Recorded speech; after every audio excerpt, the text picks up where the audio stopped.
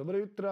In dobrodošli v našo dopodansko oddajo na Ljubljana TV. Ponovno se bomo družili vse od 8. pa tja do 11. ure in danes sva z vami v studiu Maj in Maša. In sva že Pozdravljeni. prej ja, ugotovila, da sva MNM. ne? MNM. M&M. In, Nikoga bo pa ven spustila, so rekli. Ne? ja, Tino. Tino, ja. Ne pa še zraven Tina, MNM. MNM, MNM in ti, ne. MMA, veš, to so tiste mix- mixed martial arts. A ja, Lahko uh, nevarni skupaj. ja, skupaj bomo rasturali, ne? Ja. Dobesedno. Je, ja, ja. Mi dva sva danes prvič skupaj v studiu, Res je? ampak uh, mislim, da mi dva imamo to. Mava to. Se pravi, jaz sem zdaj že drugič, sem že čist. Ti si že, to, je- jaz lahko v bistvu že kar grem. a? Ja. Kaj pa če kar grem? Ne, ne, da si dobra družba, malo mi bo še pomagala, ali pa jaz tem. Ne? No, drug drugemu ne, si pomagamo, vedno je potem lažje. Tako je, tako je. In v bistvu uh, lahko uh, začnemo kar s tem, da povemo, kaj bomo pa danes vse doživeli tle pri nas. Danes imamo polno gostov. Polno gostov imamo. Ja. Polno gostov. Najprej imamo fante iz uh, nogometnega kluba Olimpija, Ja, in V- kar dva. kar dva. Ja? Tokrat se bomo pogovarjali predvsem o mladinski sekciji. Uh, imeli bomo Roka Baskero, ki je tehnični vodja mladinske šole. NK Olimpija Ljubljana in pa Gala Kureža, ki je nogometaš Olimpije, ki je še pred kratkim bil v mladinski sekciji, zdaj pa je prestopil med člani. Med Tako da člane. je frišni, frišni član. Frišen član. Ja. Frišen član. Potem pride uh, Aleksandra Nomovski potisk, uh, ki je pianistka, pedagoginja, skladateljica, nasploh ena tako zelo zanimiva uh, glasbenica, ki je nažalost mogoče malo premalo poznana pri nas, ker se ukvarja večinoma z baletom, opero, g, uh, tako klasično glasbo. No? Jaz sem gledala njeno predstavo La Fontainove basne. Fontenove basni. ne. Lušna. Ja, tam je zelo čeden fant, me sedi nastopa, ne? Uh, Baletnik. Ja, ale, tudi en Aleksandr, mislim, da mu je ime. Mogoče, ja. V, Ne, Peter, Peter je. Peter. Sem gledal, da bi tudi njega povabil enkrat, sem le oddal. Ja, seveda. No? Mogoče pripravo, da ga boš lahko intervjuvali. Prav, hvala. Maj misli name. Seveda. Uh, no, potem pride pa še predsednik jadralnega kluba Ljubljana, Tomaž Vernik. Ja, v bistvu, kdo bi si mislil, ampak Jadralni klub Ljubljana ima res dolgo tradicijo, že od leta 1949. Tako je, Tako ja? da- na Ljubljanskem morju imajo svoje Na regate. Ljubljanskem morju imajo svoje regate, imajo svoj dom v Piranu, ne? Ljubljanski je, jadralni ja. klub. Veliko dom, floto, eno veliko floto svojih ladij imajo, uh, tako da se zelo veselim pogovora z njim. ja. Odlično. Ja. Na koncu pride pa še moja prijateljica sem. Uh, ženska, ki jo je težko opisati, ker počne toliko različnih stvari, od uh, ples, petje, uh, uh, likovna pedagogika, ustvarjanje nakita, fotografinja je. To se dela profesionalno. Ne, ne Vse je profesionalno. Ja, ne tako uspešno. Fenomenalno. Tako da, ja, uh, me prav zanima, kaj se bomo uspeli umeniti, kaj bomo pa morali pustiti za kdaj drugič. Danes bi lahko bila ja. mogoče oddaja malo daljša. Mogoče malo daljše so pa te šalčke, ki sem jih prinesla njene. Ja? Ja, ker ima tudi znamko Mala baletka. Ja. Mala baletka, tudi to dela profesionalno. tudi to dela profesionalno. Napisala je namreč knjigo. Uh, uh, Tudi knjigo. ja, male baletke in njihove cvetke, uh, knjiga uh, anegdot, uh, Koliko ko je učila stara, balet. Približno 150 let, ali kako da je Pa, že vse njena uspela? duša je stara 150 let, a ona je pa še, ne govori se o letih. No, sem, tako Ja, sem mislil, ne, zaradi tega, ker je tako veliko, tako veliko stvari. Ja, ja, sej, ne. Profesionalno, to ni kar tako, ne.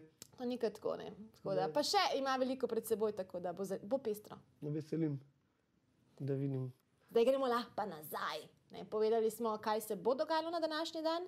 Aha, mogoče lahko omenimo še, kaj se bo zgodilo na današnji dan popovdne, kajti zdaj je pri nas tudi popoldanski program na naši televiziji in danes je četrtek in v četrtek se vse da. Namreč čas je za oddajo Vse se da s Tanjo Skazo in danes boste prvič videli, kaj vse se Kaj da. vse se da? Kaj vse se da. No, to, to se tudi veselim, bomo pogledali danes še popoldanski del. Ne? ja, seveda ob eh, 17 nič nič. 17.00, to je ob petih popoldan. Točno tako. Zdaj pa v zgodovino. V zgodovino, danes je svetovni dan, to je meni zelo ljubo, ne? svetovni dan stranišč. V stranišče imam pa tudi jaz rada. No? V resnici, po mojem, vsak, vsak, vsak človek je vesel, da ima stranišče. Ja, Sploh po noči, ko gre na večcene. Ja, mislim, prej sem se jih pogovarjala o tem, kdaj imam jaz čas brati knjige. Ne? Na VC-ju, No, res. evo, ja, na takole. si ne še s tabo. Ja, imam kar knjigice zraven, tako zložene, pa tiste history revije in, uh, in podobno. No. Pa si pa res stanomoden, tako kot včasih je moj oče, na primer, je š- z velikim časopisom šel na Tako VC. ja. In si prav vedel, da to bo pa trajalo. Zdaj, za, vsaj za pol ure si dober, ne boš mogel. Šel tja, kamor bi še cesar sam. Ja, je šel s časopisom. No, danes sem po radiju zjutraj poslušal, uh, da imamo zelo urejeno dostopnost stranišč v Sloveniji. Ja. Da je samo nekaj 2,5 procenta uh, gospodinstv brez stranišč. In to je pomembno. Ne? Če, ampak, če v bistvu pomisliš do, tega, do te informacije, nisem razmišljal o tem, da, Da ljudje pa sploh ja. nimajo ne, Ja. ne, stranišč. V marsikateri državi na, na svetu pa namreč eh, pred, si, situacija precej, precej slabša, kar se tega tiče. Ja, ne. ja, ja. Zadnjič sem slišal eno anegno- anekdoto, zanimivo, ko sem bil v Hongkongu. Ne, se je tam nekdo podelal ne, v kar v trgovinskem centru. Res. Pa je rekel moj prijatelj, ki tam živi na, na je vodo z bratom, je rekel, to je bil pa zihar Kitajc. Ne? Ker je rekel, da oni so. Oni so pa- Oni niso, ampak je rekel, Nima- je zihar ne poznajo celine, ne, tam je pa to normalna bojda. Ne? Kar v trgovinskem centru. Hongkong je pa kar zahoden že. Ja. Nič, nič časopisa, niti za zakrice, ampak kar počečne, In počečne in počečne in naredijo svoje. Lej, Da. njega je prijelo in je dal ven. Ne. Zdravje pred bontonom, pravijo temu. V bistvu zelo srečni, da živimo v eni taki državi, da sploh ne rabimo razmišljati o tem. Ne? Jaz sem ful srečna. Ja. A pa si ti kaj srečen, da si moški? Kdo že poje to, da mi Ja. Srečen, srečen, da sem moški. Ja. Danes je namreč tudi mednarodni dan moških. Dan, ko se pač spomnimo vse, kar je, na vse, kar je v zvezi z moškimi, eh, na vašo, vaše stanje, kako je z vami v svetu, kako, kako, kako je z vašim zdravjem in podobno. In kaj misliš, je v Sloveniji več moških ali žensk? Odvisno, odvisno, kam greš. Če greš na kakšno žurko, je ve- vedno več moških kot žensk. Na splošno. Na splošno pa a, ne bi rekel, ne bi rekel. Mislim, da smo zelo uravnoteženi. Ja, smo precej uravnoteženi, ampak uh, v zadnjem času je ma- malenkost več moških, namreč 50,2% moških, ostalo so ženske. To pa zato, ker uh, je toliko priseljencev, uh, ki pridejo delati in te so večinoma moški. Ne? Aha, se pravi, ne slovencov, ampak v Sloveniji. Aha, Ja, mislim, ja, v Sloveniji, koliko je, koliko je moških. Zanimivo. Seveda pa, čim, je, čim je več kot 60 let, starostna skupina je pa žensk, tako je Ja, več. ker ne, Prej greste. No. tako je. Bolj divje živimo. Ne? Ogen, ki bolj divje gori, prej izgori. A, to pa, to Ja. si pa dobro povedal. Veš, kateri ogenj pa zelo divje gori, pa mislim, da bo dolgo gorel. Kjer? Tinin. Tinin ogen. Deva preveriti, kako je z njenim ognjem. Pa dajmo. jutro.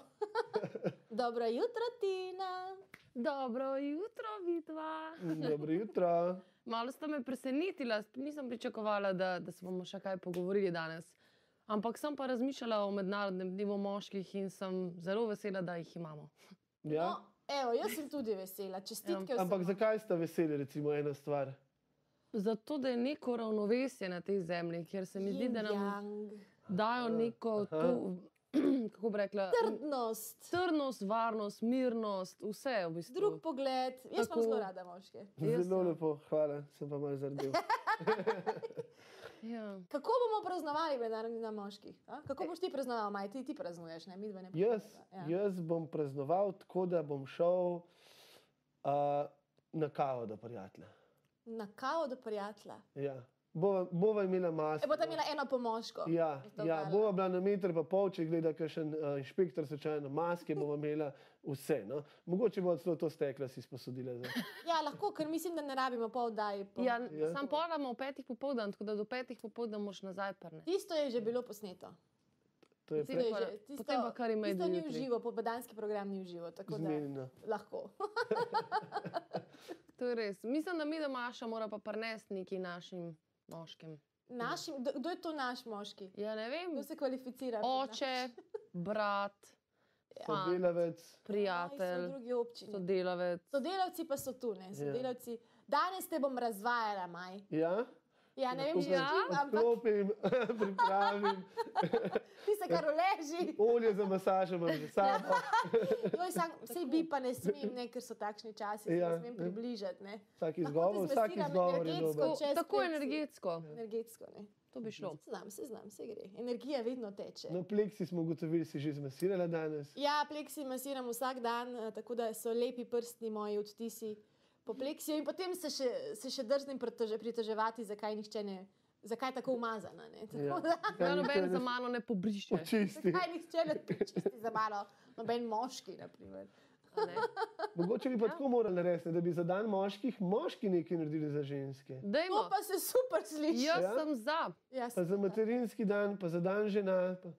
Skozi, skozi, Skozi. glede, ne glede na dan, skozi moški naredijo nekaj mi smo male mm, boginje in vi skrbite za nas. Vi ste pa tudi bogovi, ampak za ampak Ja. jaz se strinjam. Ja, jaz- mm, Bogovi pišem. skrbi Bo- Bogovi, pozornosti. bogovi pozornosti. Še tako. Ja, a ti boš svojega moškega kaj posebej razvajala danes? Tina? Sam vsak dan dobi dobro razvajanje. Ne vem. On ima vsak dan, dan moški. Ja, Ja, on kaj- vsak kaj dan. Posebnega, ne, kaj posebnega, ne. Mogoče, mogoče ga bom pelala Ja. na Šmarno goro. Na Šmano goro, Gora. to je to. to je. To počnemo vsak dan, tako da ne vem, če bi to bil pravi odgovor. Sem razmišljal, bolj, sem razmišljal bolj o tem, da bi mu kakšen sendvič pripravila, pa kava prinesla. Medtem ko on igra igrice na Ej. računalniku ali pa na PlayStationu. Oh, hvala Bogu, da tega ne dela. Ne, A ti to delaš? ne. Je nekaj prej si razlagal, da večkrat na dan bereš različno literaturo, pa sem si mislila, da če to počneš, da imaš še igrice igrati. Pa se, se, se, se najde čas. No? tvoj dan 24 ur nima, to ima Ma, ima ma, ma, ampak jaz se zelo, zelo zgodaj se zbujam. Jaz se zbujam ob šestih, se že vstajam. Tako da je med šesto in dvanajsto veliko. Ja, res je. Veliko. Jaz tako rekoč v bistvu um, do dvanajstih že naredim vse, kar imam za upraviti. Razen kadar je oddaja.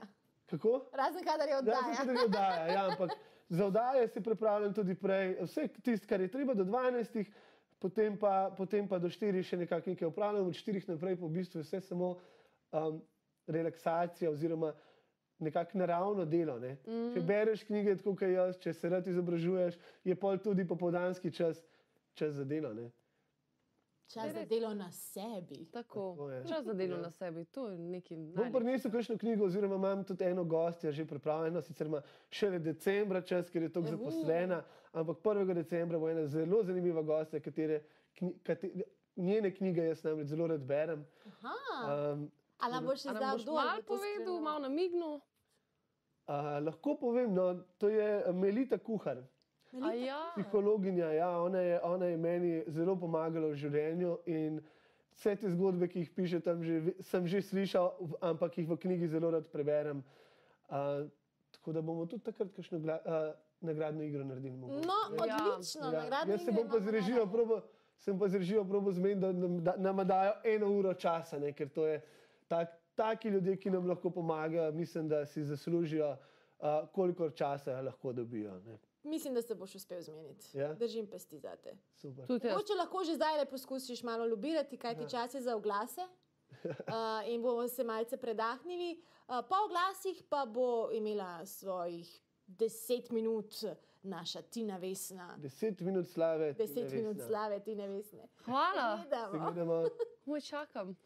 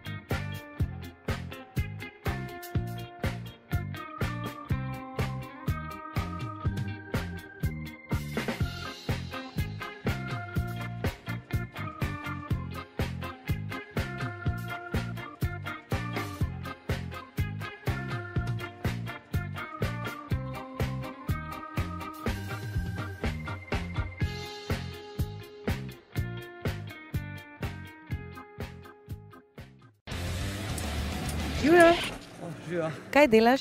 Uh, ja, znak vam rubam. Zakaj pa to delaš? Ja, uh, uh, uh, jaz mislim, da zato, ker znak on je, a ne. Ugotavljam, če so dobro pritrjeni, a veste, ne? Če recimo znak je, ne, Človek, čuvaj svoje mesto. Samo eno imaš.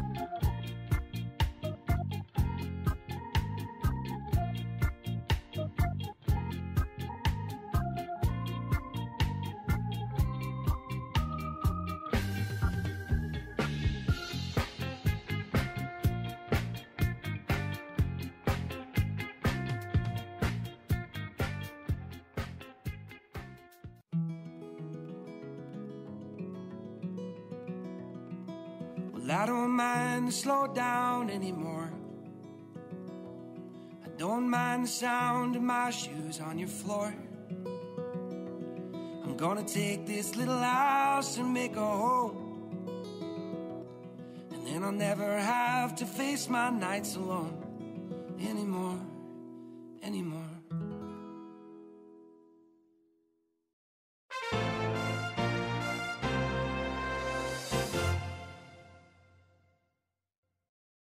Dobrodošli nazaj v našo družbo. Ponovno smo tukaj v studiu Figovec v centru Ljubljane, ampak gremo, ne? Gremo, Tini Ves. gremo v studio k Tini Vesni. Ja, kajti ona ima najbolj ažurne informacije. Mislim, najbolj ažurna od nas je. Tako je. Ona ja. vse ve o Up to date. up to date. Ja. Up to date. Up to date. Kako bi to prevedli? Do, do, datuma. Dosledna. Dosledna. Dosledna. Dosledna. In nam bo povedala malce več o aktualnih novicah, prometu in vremenu. vremenu. Tako da Tina Vesna, ponovno pozdravljena. Pozdravljena oba. Ja, danes sem kar ažurna in kaj smo rekli, do datuma. Do datuma. Do datuma. Vse do datuma. Ja. Za začetek bomo popestrili z dvemi kulturnimi novičkami. In sicer v Slovenski filharmoniji, kjer so zadnji abonmajski koncert v živo ponudili pred mesecem dni, so pripravili vrsto spletnih koncertov, ki jih bodo na datume predvidevanih abonmajskih koncertov ponudili na spletu. Spletne koncerte bo jutri, torej v petek ob 19:30 uri, uvedel nastop zbora slovenske filharmonije ter pevcev Žige Berložnika, Mateuža Kinka, Roka Ferenčaka, Roka Rakarja in Tatjane Kavčič na klavirju. Na koncertu z naslovom PVC 3, vrhovi slovenske zborovske glasbe 3, bodo izvedli dela Jakoba Petelina Galusa, Gabriela Plavciusa, Benjamina Gustava in Josipa Ipavca, Frana Gerbiča, Radovana Gobca, Marije Kogoje, Kogoj, hm. Rada Simon, Simonitija, evo, se pravi, Katarine Pustine Krakar, Vilka Ukmarja, Marjana Lipovška, Franca Marolta in Pavla Merkurja, Merkuja. V soboto bo ob 11. uri na sporedu koncert z naslovom Da. Dve lokostrelci orkestra. Prihodnji četrtkov večer bo posvečen Mozartu. V soboto 5. dece- decembra bodo predstavili suito za šest tolkacev, tolkacev komponista Milka Lazarja. 9. decembra pa se obeta koncert z naslovom Fartres. V sklopu drugega vala v slovenski filharmoniji napovedujejo tudi božični in novoletni koncert, ki pa so ju označili kot koncert presenečenja. Ja. Torej, še ne, ne vemo, kaj bo. Ne vemo točno, kaj bo. Ampak um, imamo pa še drugo novičko in Aha. Sicer na slovenskem tednu filma največ zanimanja sta pritegnila Vesna in Sreča na vrvici. Ojoj. Klasika, dobra stara klasika. Ja. Tako, tako. Slovenski teden filma s sloganom Mislimo film, podprimo film je letos potekal nadaljavo od 8. do 13. novembra. Pri Slovenskem filmskem centru so izpostavili slovenske mladinske filme Nekoč in danes, šole pa so si na individualnih zaprtih projekcijah lahko ogledale šest izbranih filmov. Največ zanimanja sta požela Vesna in Sreča na vrvici. Levo Vesno. Ste pogledali si vidva Vesno in srečo na vrvici? Sreča ja. Ja. na vrvici, ja, Vesna pa ne. Ti na Vesna, ti, glede na to, da je tvoje drugo ime Vesna, zagotovo najbrž si. Zagotovo najbrž, to pa je. Zagotovo najbolj. Zagotovo najbrž si. Si? Sem. Meni je, to, meni je res lušken. Ja. Kaj pa, kaj po čemu se pa gre Vesna na hitro? O Vesni. O A, Vesni. ki v resnici sploh ni ime Vesna, ampak Janja, ampak a, fanti ne vejo, kako je ime in potem si izmislijo, da je, da je Vesna kot a, ta boginja pomladi. Tako. V bistvu prvotno imajo načrt, da bodo se uh, malce spoprijateljili oziroma zapeljali uh, profe, uh, profesorjevo hči, ne, zato da bodo, da bodo lažje prišli skozi na maturi. pa tako. Um, potem pa se dejansko eden izmed njih zaljubi v njo in potem je to. To je, to bo, če bi profesor zvedel, bi bilo teže na maturi, po mojem. Ja, Ne? ampak oni so nekako imeli ta plan, da bi ona za njih ukradla maturiteto. Aha, no, evo, si, si že pišem. Ja. V opomnik danes bo, a, si ga bom snil. si ga boš snil. Si ga bom ne, snel. ne boš, ti to gledaš legalno. Legalno, Ja, ne prek bo, ne Netflixa. snimaš, ne Ja. Ja. A, Bomo no. raje. na Gremo raje ne? promet, preden se še kaj zarečemo. Točno tako. Ja, zaradi jutranje prometne konice je povečan promet v smeri večjih mest, ponekod po Sloveniji je megla, tako da je zmanjšana vidljivost, zato previdno. Imamo pa Ljubljana obrežje, izvoz obrežje, mokrice iz smeri obrežja, Hrvaške, torej je zastoj, zamuda je 6 minut, dolžina kolone je 500 metrov. Karavanke Ljubljana pred izvozom jesenice zahod v smeri Ljubljane je poteka nadzor prometa, zato je oviran, je pa mejna kontrola ob vstopu v Slovenijo. Ne? Pa Ljubljana, cesta dveh cesarjev med cesto, mestni loki in Barjansko cesto je popolna zapora zaradi rekonstrukcije ceste v sklopu aglomeracij in sicer do 30. avgusta 2021. Ljubljana Tavčarjeva ulica med Miklošičevo cesto in Cigaletovo ulico je popolna zapora zaradi rekonstrukcije ceste. Ljubljana, Šmartno prileti, Besnica, Besnica. Treb, kako se reče, Besnica ali Besnica? Čiri, čiri, čiri, čiri, čiri, čiri, čiri, čiri. Razumemo, kateri del. In Trebeljev je oviran promet zaradi poškodovanega cestišča. Uh, mi je kar zanimivo, prav počutim se. Spomniš, Maša, takrat tebe žal Maša še ni bilo, ko smo imeli um, galerijo Cukrarno in različna gradbišča, po katerih so delali in smo takrat jih že vedeli na pamet. Ja, res je. No, tako se jaz zdaj počutim s temi zadnjimi tremi. Smo mi že. Že toliko časa trajajo, Ja, pa še vedno ne vem, kako se reče. Besnica, besnica, besnica. po mojem. Verjetno besnica. Po mojem. So besni.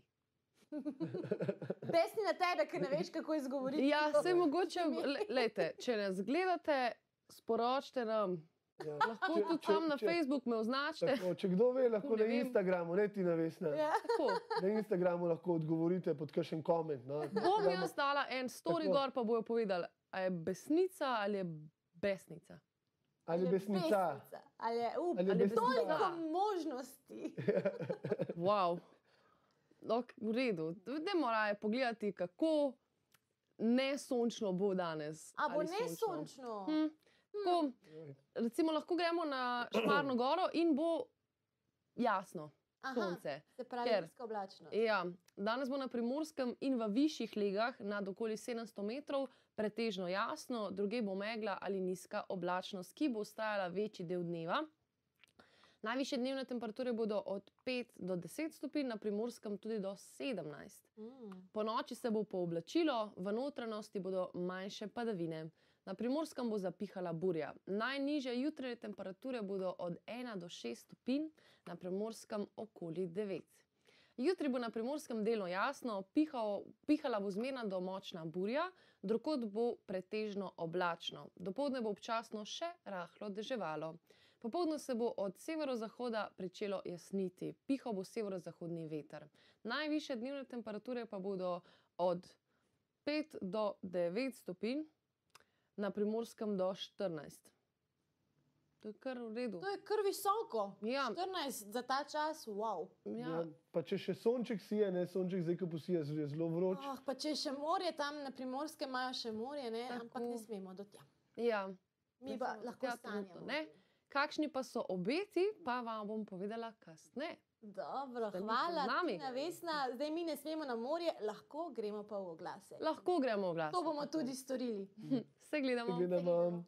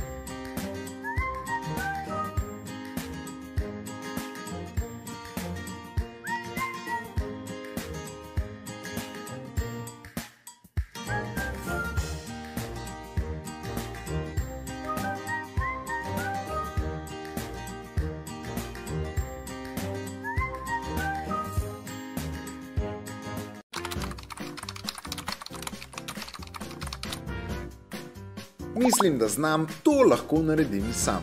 Servirna deska.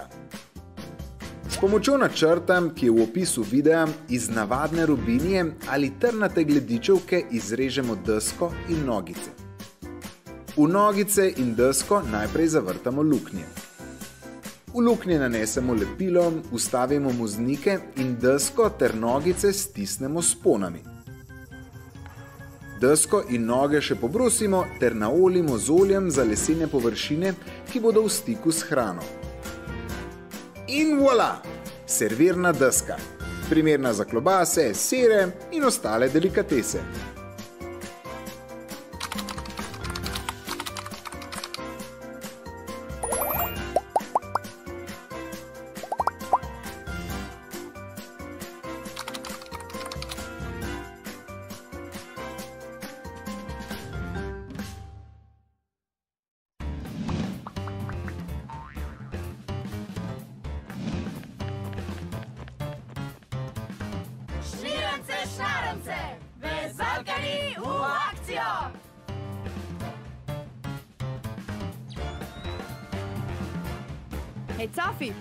Pozabljivec na delu. Uf, 28 stopinj, pa pa tega zebe. A boš ki skuhu ali speku ali kva? 20 stopinj je čist dost, a ne holdi. Kul, cool. gremo naprej. Hubert, le priložnost zate. Če se vse ljudje ne vržejo proč. Ampak. Narejeno, stari, narejeno. Unikatna znamka slušalk, ki je ne najdeš zlahka. Kdor zna, pač zna. Vojka, kaj pa tega pere? To je Kiss 2, super učinkovito naravno čistilo, brez negativnih posledic za okolje. Dobro spucaš, malo ponucaš. Urbi, lega, lega modela.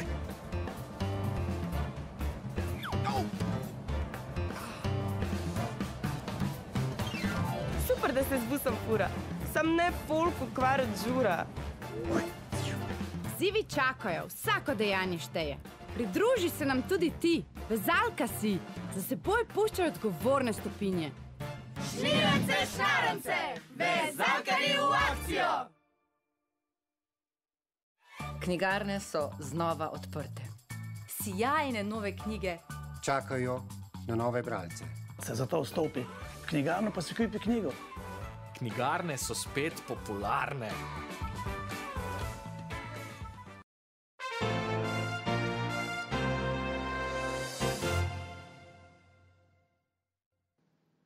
Dobrodošli nazaj v našo družbo in že je čas za prve današnje goste. Začeli Ja. bomo s športom. Športniki, mladi Športniki. športniki. Nogometni klub Olimpija Ljubljana je namreč uh, zelo uh, uspešen in zelo uspešno gradi tudi uh, mladinske sekcije.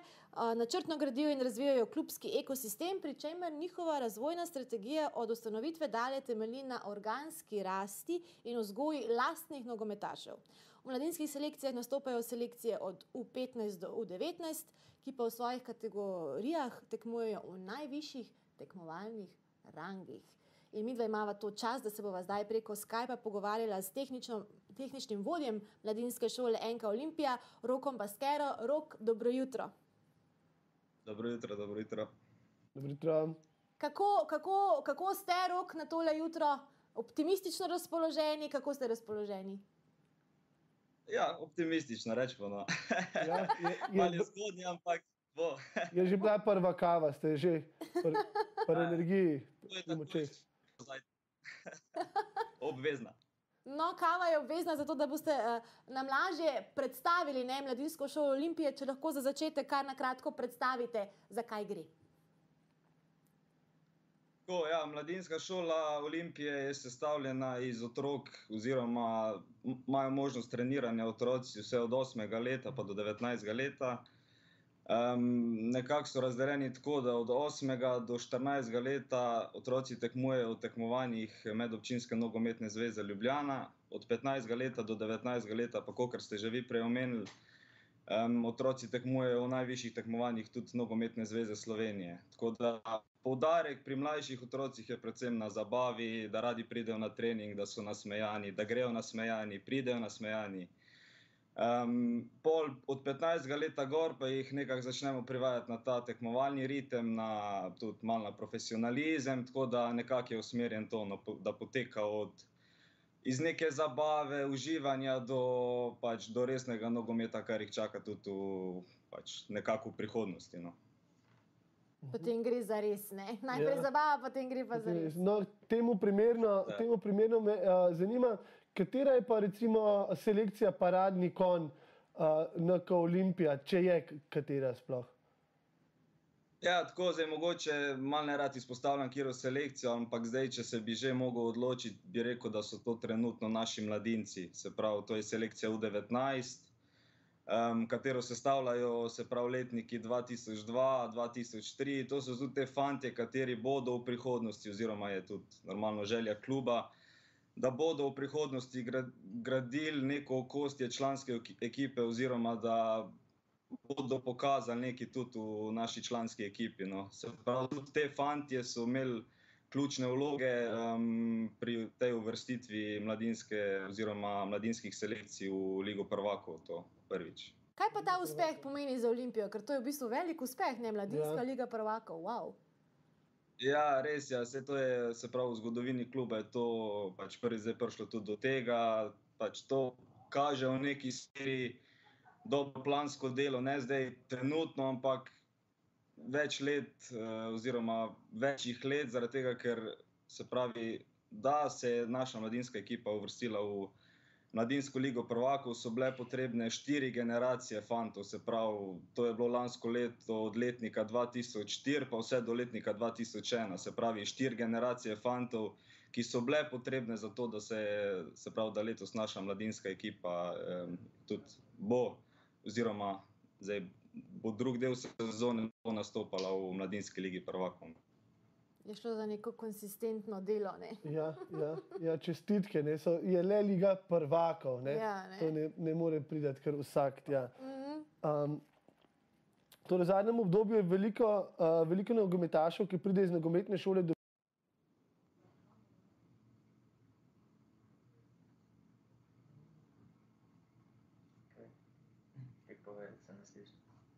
Eh, Pardon, eh, ne slišim vas zdaj trenutno. Se pravi, v zadnjem obdobju veliko nogometašev, ki pride iz nogometne šole vaše, dobi priložnost za igro v članski reprezentanci naši. Ne? Kako ste ponosni na to, kako gledate na to, kakšni so prihodnost cilji?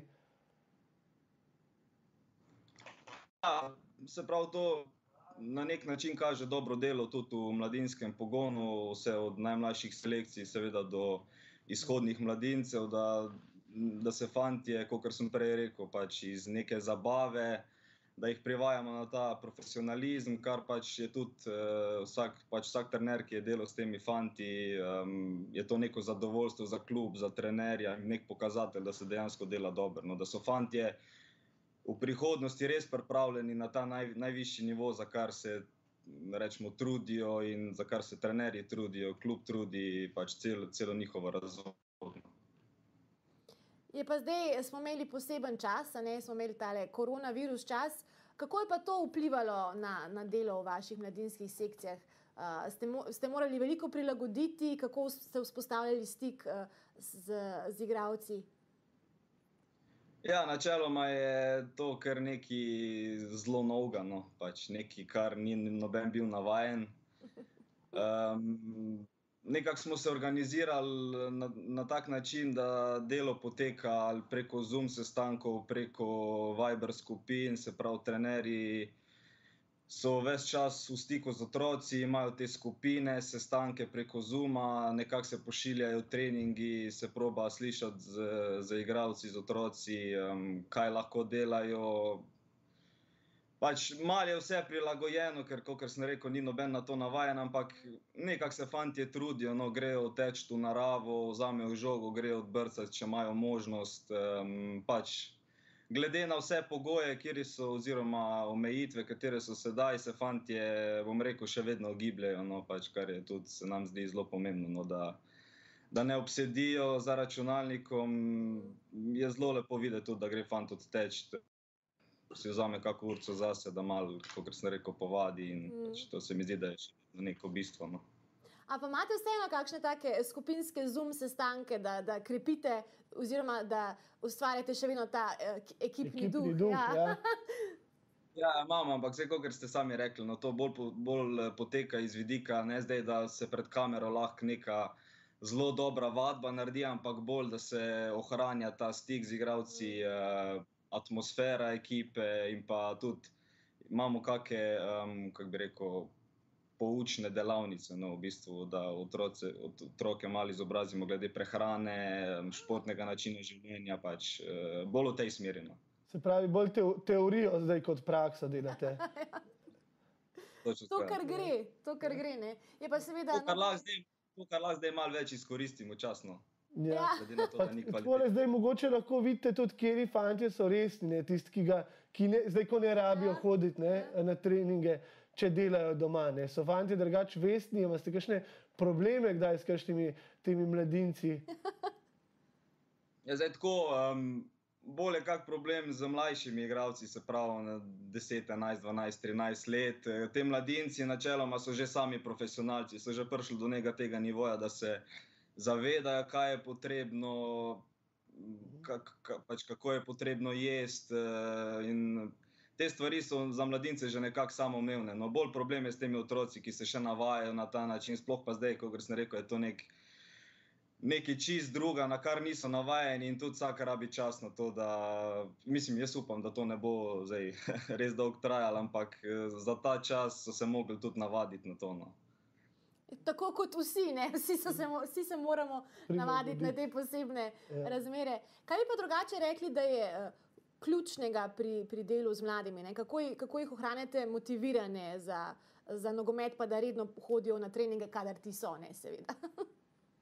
Jaz bi rekel, to, kar, kar sem prej rekel. Se pravi, za te mlajše selekcije se mi zdi najbolj pomembno, da pridejo na trening nasmejani, um, da so na treningu nasmejani, da uživajo, um, da, pač, da z veseljem pridejo na trening. In uh, se mi zdi, da je to tudi nekaj ključnega pomena, da pač otroci ostajajo v nogometu, ker kakorkoli je nogomet nek šport, nek hobi, kar mora biti vsakmu igralcu neko zadovoljstvo. No, in pač to mišljenje je želja, da se drži, se pravi, kako bi rekel. Čim dlje, no, do čim večje starosti otroka, se pravi, da tudi če je možnost to kombinirati s profesionalizmom, se pravi, res ta iskren užitek, pa profesionalizem, da to drži celo kariero, no, če je to le možno. No. To je pa zmagovalna kombinacija. To je neko, neko zadovoljstvo, tako, ja, veselje. da se jim ne zagabi. Ne, Ja, kaj pa, kaj pa kakšna, uh, kakšen trening doma, recimo FIFA, um, Pro Evolution Soccer, to jim date, kakšno domačo nalogo, kdaj? Mislim, lahko jaz tudi postanem član Olimpije, če igram to doma. Jaz mislim, da zato ni treba neke posebne naloge dajati, ker se mi zdi, da to vsak ima čas za to. To sami Ja. od sebe. Ja, Rok, najlepša hvala vam za vaš čas. In upam, da boste z mladinskimi sekcijami še naprej uspešno delali in da se bomo še veselili kakšne, kakšne mladinske lige prvako tudi v prihodnih letih. In Ja. Uspešno, no? tudi v teh časih. Uspešno, zelo uspešno in srečno. Se gledamo, lep dan. Sidenjem. Takole, uh, tole je bil tak zabaven pogovor, zelo uh, prijeten sogovornik je Rok Ja. Baskera, vodja, tehnični vodja mladinske šole NK Olimpija. Mi pa nismo še upravili z nogometno šolo NK Olimpija, oziroma z Ja. NK Olimpija nismo upravili. Tako je, ja. Po oglasih bomo govorili z Galom Kurežem, ki pa je nogometaš Olimpije, mladi nogometaš, ki je še pred kratkim bil v mladinski sekciji. Se gledamo. Se gledamo. you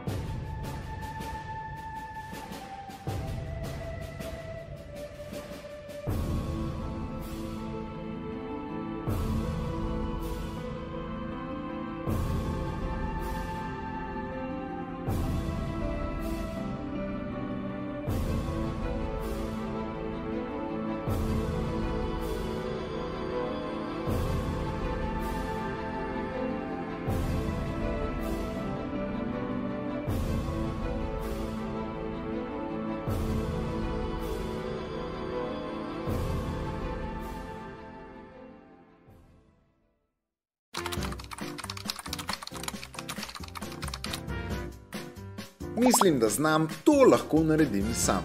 Ksilofon. S pomočjo načrta, ki je v opisu videa, pripravimo letve navadne rubinije.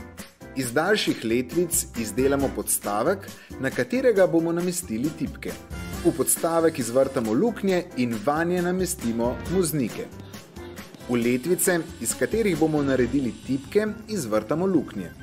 Pobrusimo robove tipk in okvirja. V zrezane trakove filca urežemo luknje za muznike. Za udarjalke uporabimo leseni okrogli palici, na kateri namestimo leseni krogli. Ksilofon sestavimo in voilà! Ksilofon je pripravljen za igranje.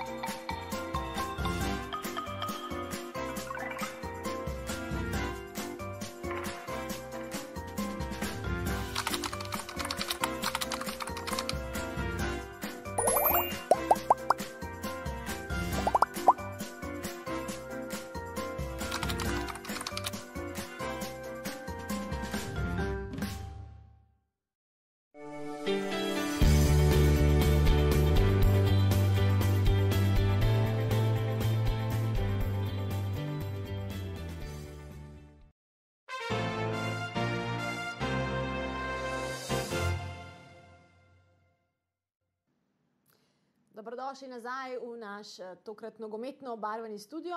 Vse v bistvu smo res prav v, v barvah Olimpije. Ne? Tako je, ja. zeleno imamo, pa Zeleno. sicer zeleno, tudi imamo zeleno, zeleno rožo. Pa tudi uh, smo le Ljubljana. Ne? Smo le Ljubljana TV. Tako je, ve se, kateri klub podpiramo. Tako je, ojoj. ojoj. Zdaj si pa zarekla, se mogoče malo. Uh, nogometni klub Olimpija je še vedno tema. Prej smo govorili o njihovem podmladku v mladinski sekciji in iz te sekcije je zdaj v člansko sekcijo prišel tudi Gal Kurež, nogometaš Olimpije, s katerim se bova pogovarjala z Majem. Ta trenutek preko Skypa, tako da Gal.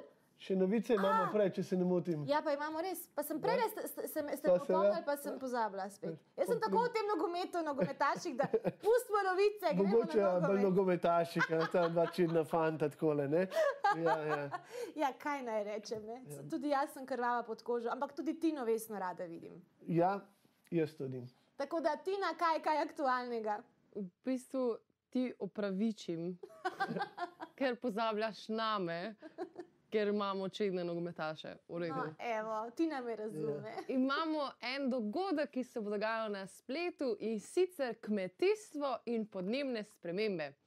To bo potekalo danes ob 18. uri preko spleta, prireditelj pa je mestna knjižnica Ljubljana in imamo brez vstopnine.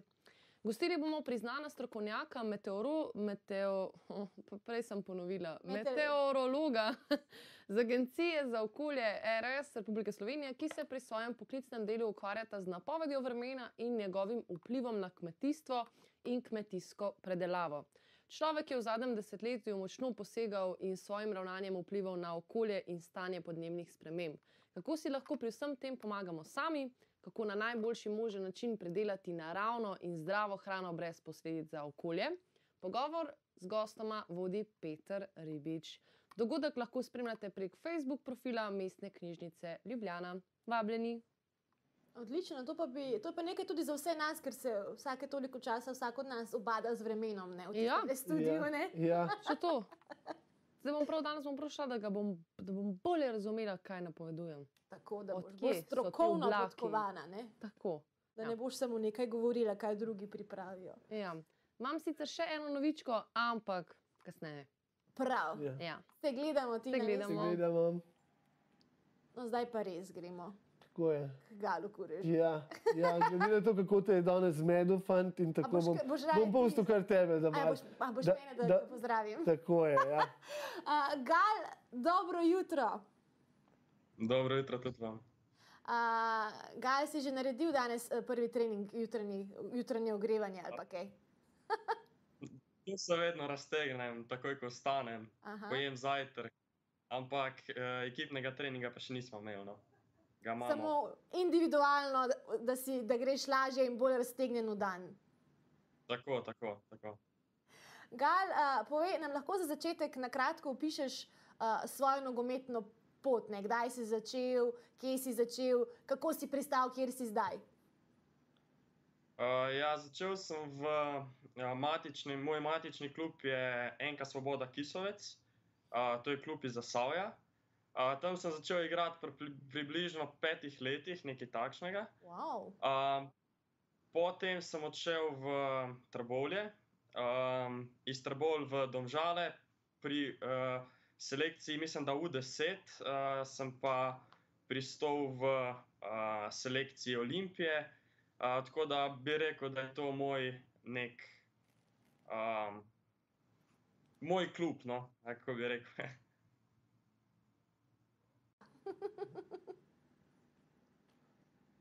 Si ga posvojil za svojega, pravim, Olimpija.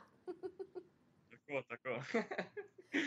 Kako pa se spominjaš časa, ki si ga preživel v nogometni šoli Olimpije? Ja, spominjam se ga kot zelo lepega časa, uh, sicer to tudi ni tako dolgo nazaj. Um, saj sem prejšnji let uh, še nastopil za mladinske selekcije tudi. Um, drugače pa ja, delo dela se zelo dobro, tako da je bil to sigurno zelo lep čas no, v, na moji športni poti. Pa si, si, ko si bil mlajši, si ciljal na Olimpijo, ti je bila Olimpija, uh, kjer recimo klub uh, v Sloveniji ti je najljubši, verjetno zdaj Olimpija, ne? ampak si imel, si imel nekdaj željo, da bi pristal v Olimpiji, ne? preden greš seveda v Real Madrid in Barcelono in tako naprej. Ja, sigurno. Že od, že od malih nog sem začel navijati za Olimpijo, seveda je bil to moj cilj, da, da bi enkrat zaigral. Uh, Meni so se sanje tudi uresničile. Um, sicer cilje imam seveda še više, ampak drugače pa je to sigurno zelo velik uh, uspeh in dosežek. Ena stopnička sanje dosežena, ne? grejo pa še, ulala.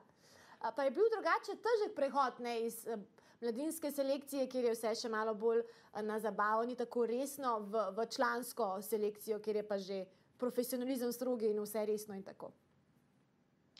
Uh, sicer tudi v mladinskih selekcijah se mi zdi, da je dosti profesionalno vse skupaj, uh, ker ti že od, rečemo, tako kot, kot je prej že rok povedal, uh, že od 15 leta nekako gradiš, da bi ti prišel do članske ekipe. Uh, zato se moraš vsako tekmo in treningom dokazovati, da čim bolj napreduješ, ampak sigurno pa je ta uh, preskok članom še nek višji nivo, uh, hitrejša igra, vse skupaj je težje, težji treningi. Um, tako da ja. Se pozna. Ja, Se pozna, da je vse, da je, da je vse malce težje. tako je. Ja. Pa tudi količina treningov se mi zdi, da je višja. No. Aha. Je, ve, je več treningov, kako pa to zgleda? Trenirate enkrat na dan, cel dan, Cel dan. dvakrat na dan, kako to zgleda?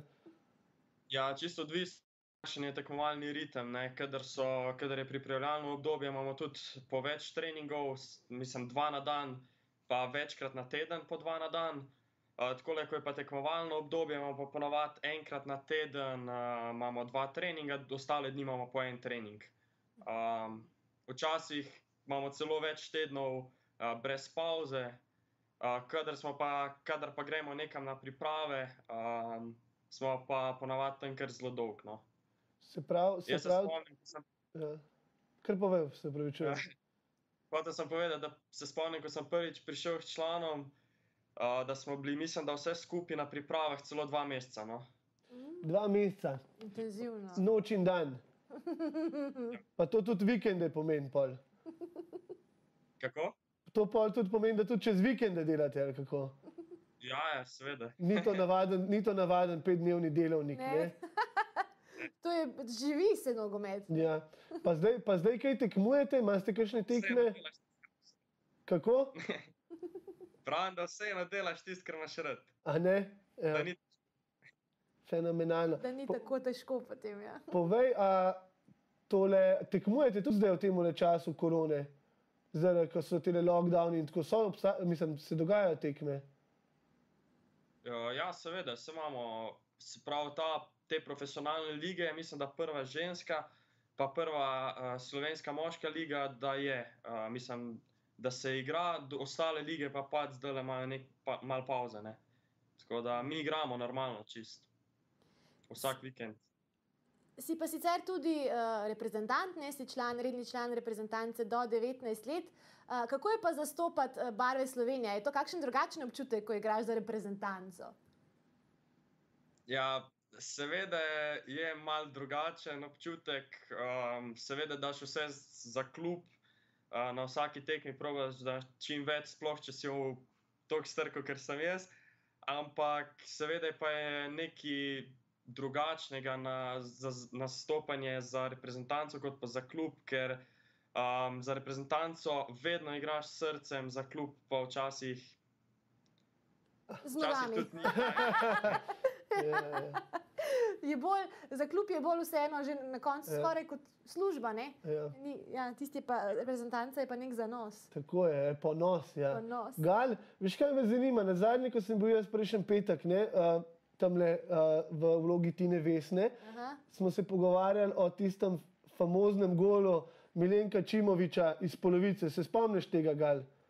Ne vem, je še mlad. Uh, jaz sem sicer še premlad, da bi se tega spomnil, ampak sem pa gledal posnetke na YouTubu, tako da vem, kako je zdaj. No, temu primerno sem te želel vprašati, kakšen je pa tvoj, recimo, sanski scenarij, recimo, kaj si želiš v življenju doseči. Tako, ne, ne rabi biti niti klub, lahko je recimo gol na finalu svetovnega prvenstva ali pa kaj takega. Ne? Kaj bi bilo tvoj, kaj je tvoj sanski scena- scenarij? Sigurno največ uh, gol na svetovnem prvenstvu za zmago. Ali pa kakšen hat-trick plus gol za zmago. Aha. Je bilo tudi zelo lepo. Sploh na kakšnem derbiju. Ja? Zakaj si se pa odločil postati nogometaš? Kaj te je tako pritegnilo, da si rekel, jaz pa hočem biti nogometaš? In kdaj, kdaj si vedel, da želiš, da je to tvoja pot? Ja, jaz izhajam kar iz zelo nogometne družine. Že moj brat je igral nogomet, moj oče je igral nogomet. Seveda, ko sem bil mehen, smo tudi veliko se igrali žogo. Um, in pa sem začel nogomet igrati. Um, mislim, igral sem ga tako ali tako skozi na ulici, pa že, ker sem bil čist mehen, tri let, dve let, uh, uh, sem bil skozi žogo. Tako da pa sem se uh, za to odločil, postal mi je všeč in mi je še vedno všeč. Da, ja. Ja, upajmo, da bo še v nadaljevanju ti všeč. ne? Ja, Um, imaš kakšno morda uh, zabavno anegdoto iz kakšnega treninga ali pa tekme? Se je kdaj zgodilo kaj takega, kar bi, kar, nenavadnega, kar bi podelil z nami? Hmm. Sigurno se je, sam zdaj iz glave, da bi se kaj spomnil.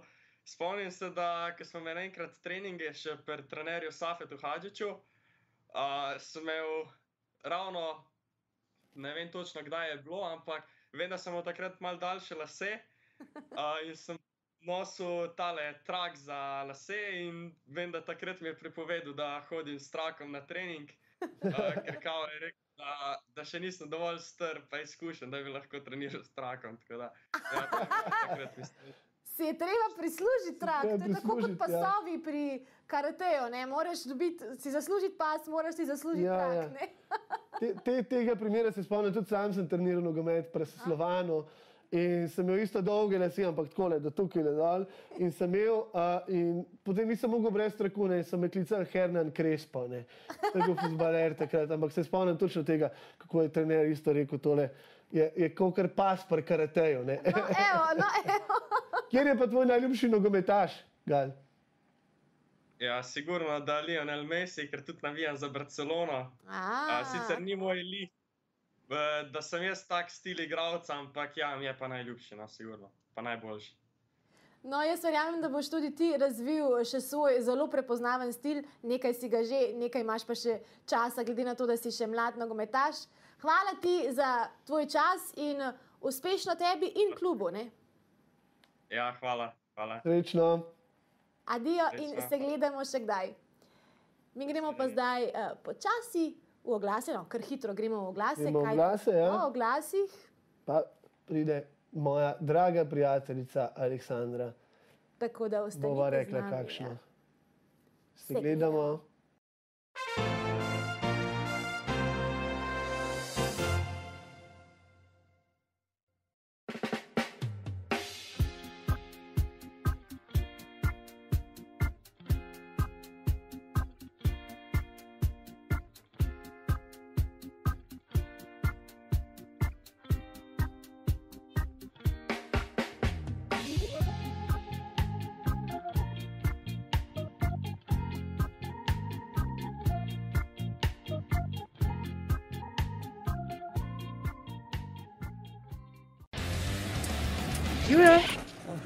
Kaj delaš? Uh, ja, znak vam rubam. Zakaj pa to delaš? Ja, uh, uh, uh, jaz mislim, da zato, ker znak on je, a ne. Ugotavljam, če so dobro pritrjeni, a veste, ne? Če recimo znak je, ne. Človek, čuvaj svoje mesto. Samo eno imaš. Knjigarne so znova odprte. Sijajne nove knjige, Čakajo na nove bralce. Se zato vstopi, v knjigarno pa si kupi knjigo. Knjigarne so spet popularne.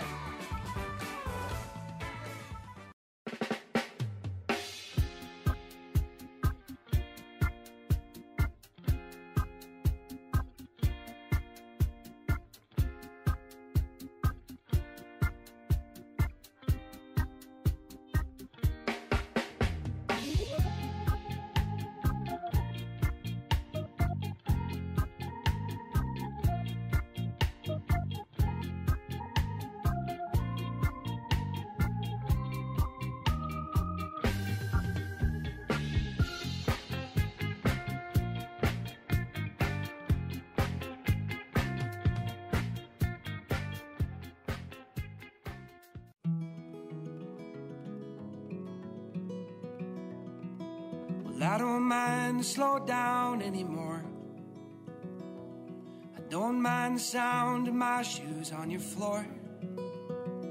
I don't mind selling out or playing cover song.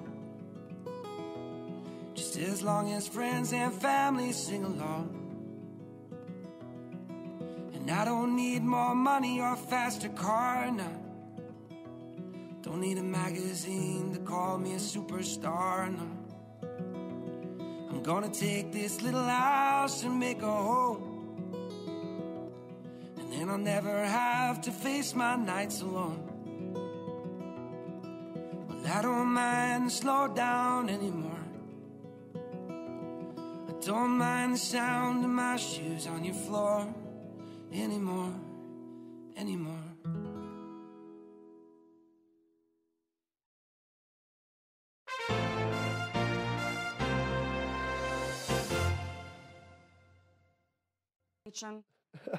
Hvala.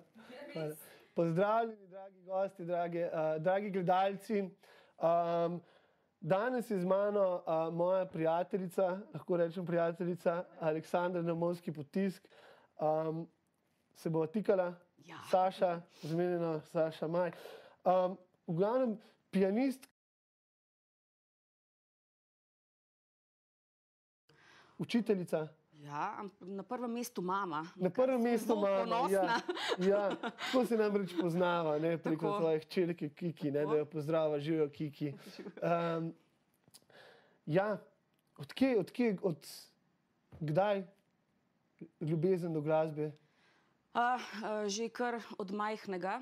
Moj oče je glasbenik, uh, flautist uh, in pri nas je bila zmeraj um, odnegdaj prisotna glasba. Uh -huh.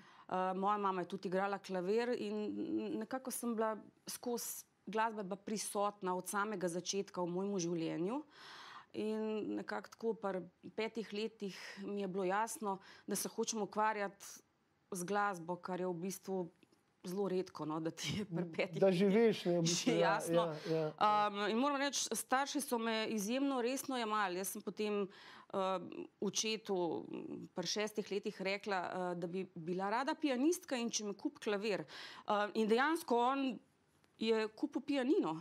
In tako se je začela moja glasbena pot. Ja, Se pravi, glasbena družina, ne, tako kot imamo, imamo igralske družine, glasbene, Tako. nogometne, kar smo imeli enega fanta, ravno kar. Ja. Uh, se pravi, od nekdaj si že vedela tudi, tudi za, pia- eh, za, za klavir, da želiš proigrati. Ja, prav klavir mi je bil všeč. čeprav- Nobenega drugega inštrumenta. Uh, ne, ne. Ne? Pa ne, ne, ne vem, zakaj zvok klavirja me je fasciniral. Uh, moj oče je flautist, a ne, ampak jaz sem se odločila za. Pa si se preizkušala v drugih inštrumentih? Ja, seveda, um, ker um, nisem preizkušala. Seveda sem probala, sem probala tudi flauto uh, in violino, uh, kar v bistvu, če se ukvarjaš s komponiranjem, ne, um, ti to zelo prav pride. Ja.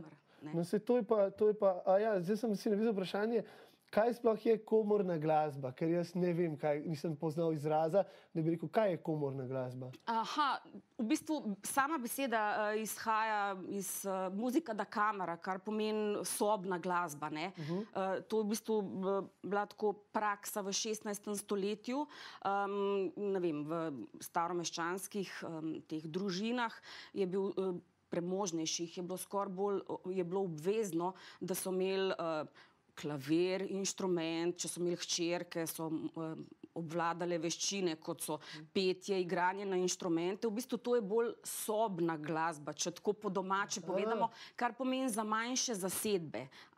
Seveda zdaj um, komorna igra v današnjih časih, seveda se je tudi preselila na velike koncertne od, odre, ampak načeloma je to za manjše zasedbe. To se pravi, lahko sta dva, trije, štirje in tako naprej. Gre za manjšo zasedbo. ne. Hvala, vidiš, da si me naučila. Uh, Ker smo jih pri tem učenju, ne, um, si napisala tudi učbenik, Ja. zelo mlada, mislim. Ja, Ja. če pogledam zdaj, uh, koliko let je že to, zdaj sem jaz spomnil, koliko sem stara, a v redu. Ja, ne, ne, mislim, Ne moram govoriti, da smo se ravno z Mašo prej pogovarjali, da ne govorimo o letih. Ne. Tako. Ampak a, tako, pri primerjalno, ne, mislim, si napisala pri kaj, 25? Ja, še mečkan prej. V bistvu tako je. Ta eh, pedagogika me je odnegdaj zanimala. Ne? Um, pa ne tisto v bistvu tako eh, stara klasična pedagogika, da si strok, tako, ampak pedagogika preko igre. Ker um, jaz sem preprosto sem zagovornik, da uh, otroci, ki so mehni, jim je treba čim več teh stvari ponuditi, s katerimi se lahko ukvarjajo. Čim več orodij. Točno tako, da imajo potem v bistvu možnost se odločiti, kaj bojo v življenju. Zdaj, če ti če nekomu ne ponudiš ne vem, umetnosti, eh, ne vem, glasbe um, ali pa plesa ali pa športa, uh -huh. potem ne moreš vedeti. Yeah. In zaradi tega si potem tudi se. Uh, se ja, hotela sem v bistvu to glasbo nekako preko te moje pedagogike, ne, Mhm. tega pedagoškega prijema približati preko igre otrokom. Uh, tako da v bistvu vrsto let so nastajale razne zgodbice, kako se učiti klavir, kako poiščeš, vem, noto C ali pa G, tako da sem personalizirala te uh, note, Mhm. ne. to se pravi, nota ni nota, ampak je oseba, ki ima svojo zgodbo. In potem na podlagi zgodbice je bilo otrokom dosti hitrejš, jasno, ne vem, če dobiš petletnika um, Ja, ja. za učenje klavirja. Vse mu lahko rečeš, klele je nota G, ampak če mu prek zgodbe to poveš, mogoče je to. Pa je veliko, pa je veliko, jaz opažam, da je zadnje, mogoče deset let opažam, da je zelo mlade otroke, že, že zelo mehne otroke, že v glasbene šole, na inštrumente. Jaz sem pri šestih že videl otroke z violino okrog Ja. hoditi. A to je standard? Mislim, vemo, vsi vemo te zgodbe o Mozartu in teh, ki so bili virtuozi, da so že uh, kot mladički, lahko temu rečemo, ne igrali. Ampak a je to um, standard pri nas v Sloveniji, da tako otro- otroke, a je, pa, a je to zdravo, je to dobro, recimo, Veš če otrok ne eh, ve, a bi rad igral violino, neki kompleksen inštrument. Eh, Že tako, ko otrok pride v glasbeno šolo, naprimer, pa se upiše na violino, ne, in potem je tam na nastopih, eh, pa vidi mogoče kjer drug inštrument, pa ga sliši po zvoku, in tako pa se mogoče lahko za kjer drug inštrument odloči. Ampak načeloma jaz sem pristaš, da je, da je glasbo potrebno ponuditi otrokom. V zgodni fazi, ne zdaj tako, ne, da ga pri treh letih upisuješ v glasbeno šolo, ampak čim prejšnji stik z glasbo. Mislim, da je to tudi za otrokov razvoj zelo pomemben. Ja, ker uh, obstaja, obstajajo taki, to smo tudi videli v filmih, ne, te starši, ki so. Uh, Agres, lahko bi rekel, agresivni. Ja, temu. Se pravi, jaz z- zdaj sem violino omenil zaradi tega, ker ne le inštrument, če rečeš, pojdi igrati, ne, če pa mu rečeš violino, pri petih letih je pa. Ne, ja, a, a ljudje, a, a se soočaš kdaj s tem, da starši mogoče pretiravajo? A, absolutno, absolutno. Lej, eh, sama, eh, mislim, mi dva z možem sva oba glasbenika, ne, on je tudi uh, pianist, uh, pa sva oba šolava otroke v glasbeni šoli, ampak m, sva se pa vedno zavedala, da če je to najem poklic, nekoga ne smeš siliti v to, mora sam ugotoviti. A ne. Načeloma, tako, če sem čisto iskrena, jaz si ne bi želela, da so moji otroci glasbeniki. Bom povedala zakaj. Uh, ker ne vem, tako, če si naprimer, na odru, ne, tako, naprimer, kot okay, poleg učenja, sem jaz tudi na odru, uh, koncertiram, mm, je, to je garanje. To je garanje. Ti, ko pripravljaš en koncert ali pa ko greš na oder, jaz včasih imam občutek, uh, ne vem, da delam. V, v kamnolomu neko fizično, Fizično delo. težaško delo. Ja. Ja. Res to ljudje si ne predstavljajo, v bistvu, koliko je to ur vaje, um, razmišljanja, a boš zadevo se tako lotil ali, tako, ali pa isto pri komponiranju. Mhm. Uh, tako mi je smešno, včasih srečam kakšno kolegico, pa tako pravi, joj. Uh, ti si pa zdaj na odrih, pa se ti skladbe izvajo, kot uh, ti je. Si uspela, čeprav jaz to ne gledam tako, ne? ampak si, predvsem si mislim, da mi nekdo tak stavek reče, oh, draga moja, ki bi ti vedela, koliko je to neprespanih noči, ki gre človek uh, komponirati. Ne? Naprimer, jaz izključno lahko ustvarjam tako po noč, kaj s tem, od enih zjutraj do petih zjutraj. Ne? Ne vem zakaj, nimam pojma, mogoče sem takrat v nekem svojem um, balonu, Ja. balonu, ker se zadeve umirijo tako čez dan. težka. In to so neprespane, ne čuj, to, to je res garanje v bistvu. Ne. Potem, ko daš ti nek izdelek, potem, da se podpišeš pod to, pa rečeš, ok, to je to. To, to ni kar tako. ne. Ok, res Mozart je bil genij, lahko da je res pisal tako od začetka do konca. Seveda se tudi to zgodi, da kakšno zadevo tako naredimo na dah, ampak potem, preden ti to izpileš, je pa. Oh, oh, oh. Ja, ja. To, to, to, to je ponovadi s talentom. Ne, imam tudi le napisane. Talent je, uh, talent je ena stvar, vsi vemo pa, da če hočeš nekaj narediti, veliko, veliko dela zraven. ne. Um, in uh, mene zanima, kako je, kako je komponirati. Kako, kot, jaz sem nisem glasbenik, recimo. Ne. Um, kako je to, slišiš glasbo v glavi, ali si predstavljaš, ali napišeš, pa odigraš? Ja, veš kako je. Um, jaz sem v bistvu tako uh, zelo vizualen tip, pa pomembne so mi zgodbe. Uh, saj, kot veš, sem tudi uh, predsednica društva. Um, Kulturno-umetništvo društva, društvo Cona 8, uh -huh. kjer delamo uh, predstave za otroke in sicer um, pač operne, pa baletne. Ja, ja. Um, bova povedala, takoj, ko pridemo nazaj. Aha. Zdaj, um, uh, zaradi tega, ker imam pripravljen video. A, super. Od, kar se tiče komponiranja, imam pripravljen video, tvoje zadnje, um, kako se temu čez ni skladba. To. Preludi za klavir, ja. Prelodi, pa lahko ne poveš, um, ker jaz uh, priimka od gospoda ne bom povedal pravilno. V redu. Uh, pianist je vrhunski, svetovno znan pianist Simon Trpčevski in sem neizmerno hvaležna, da je tole izvedel. Ja, super. Si pogledamo, potem gremo pa na oglase.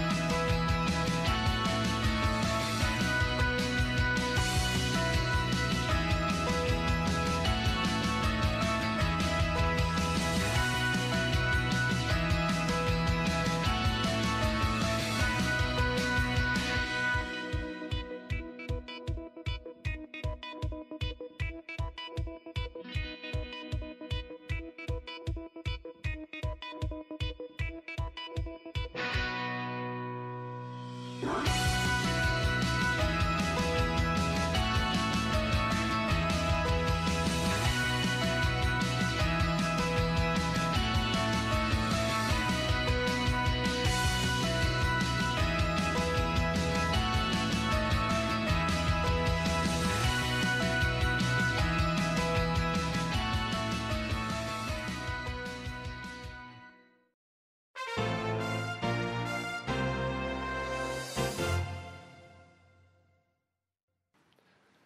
Pozdravljeni nazaj, dragi gledalci, drage gledalke. Uh, jaz tukaj sedim z mojo gostjo Aleksandro Nomovski potisk. Uh, še preden pa nadaljujemo najmen pogovor, se bomo pa slišali za Tino Vesno in nam bo povedala nekaj o prometu na cestah. Lepo zdrav. Ja, imamo nekaj zastojev, oziroma del na cesti Ljubljana obrežje, razcep Malence, predor Debeli hrib v smeri Novega mesta je zaradi del zaprt prehitevalni pas. Vrhnika pod peč dol pri Borovnici proti Bistri je izmenično enosmerni promet, ker poteka strojno krpanje vozišča do 17. ure. Ter Ljubljana vzhodna obvoznica, pokrit vkop Strmec, priključek Ljubljana Bizovik v smeri za Dobrove je zaradi del zaprt vozni pas. Nekaj malega se dogaja na cesti, nič preveč hudega, a vse eno previdno. Najlepša hvala, Tina Vesna. Malenkost, se gledamo kasneje. Se gledamo.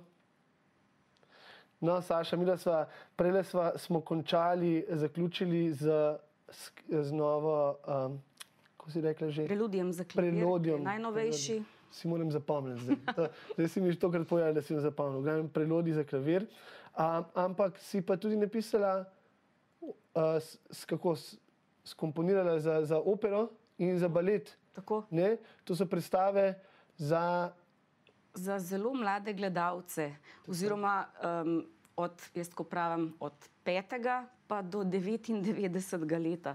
Um, v bistvu um, komponiram jaz, to se pravi glasbo naredim. Uh, v bistvu tako za možem delava v timu. ne.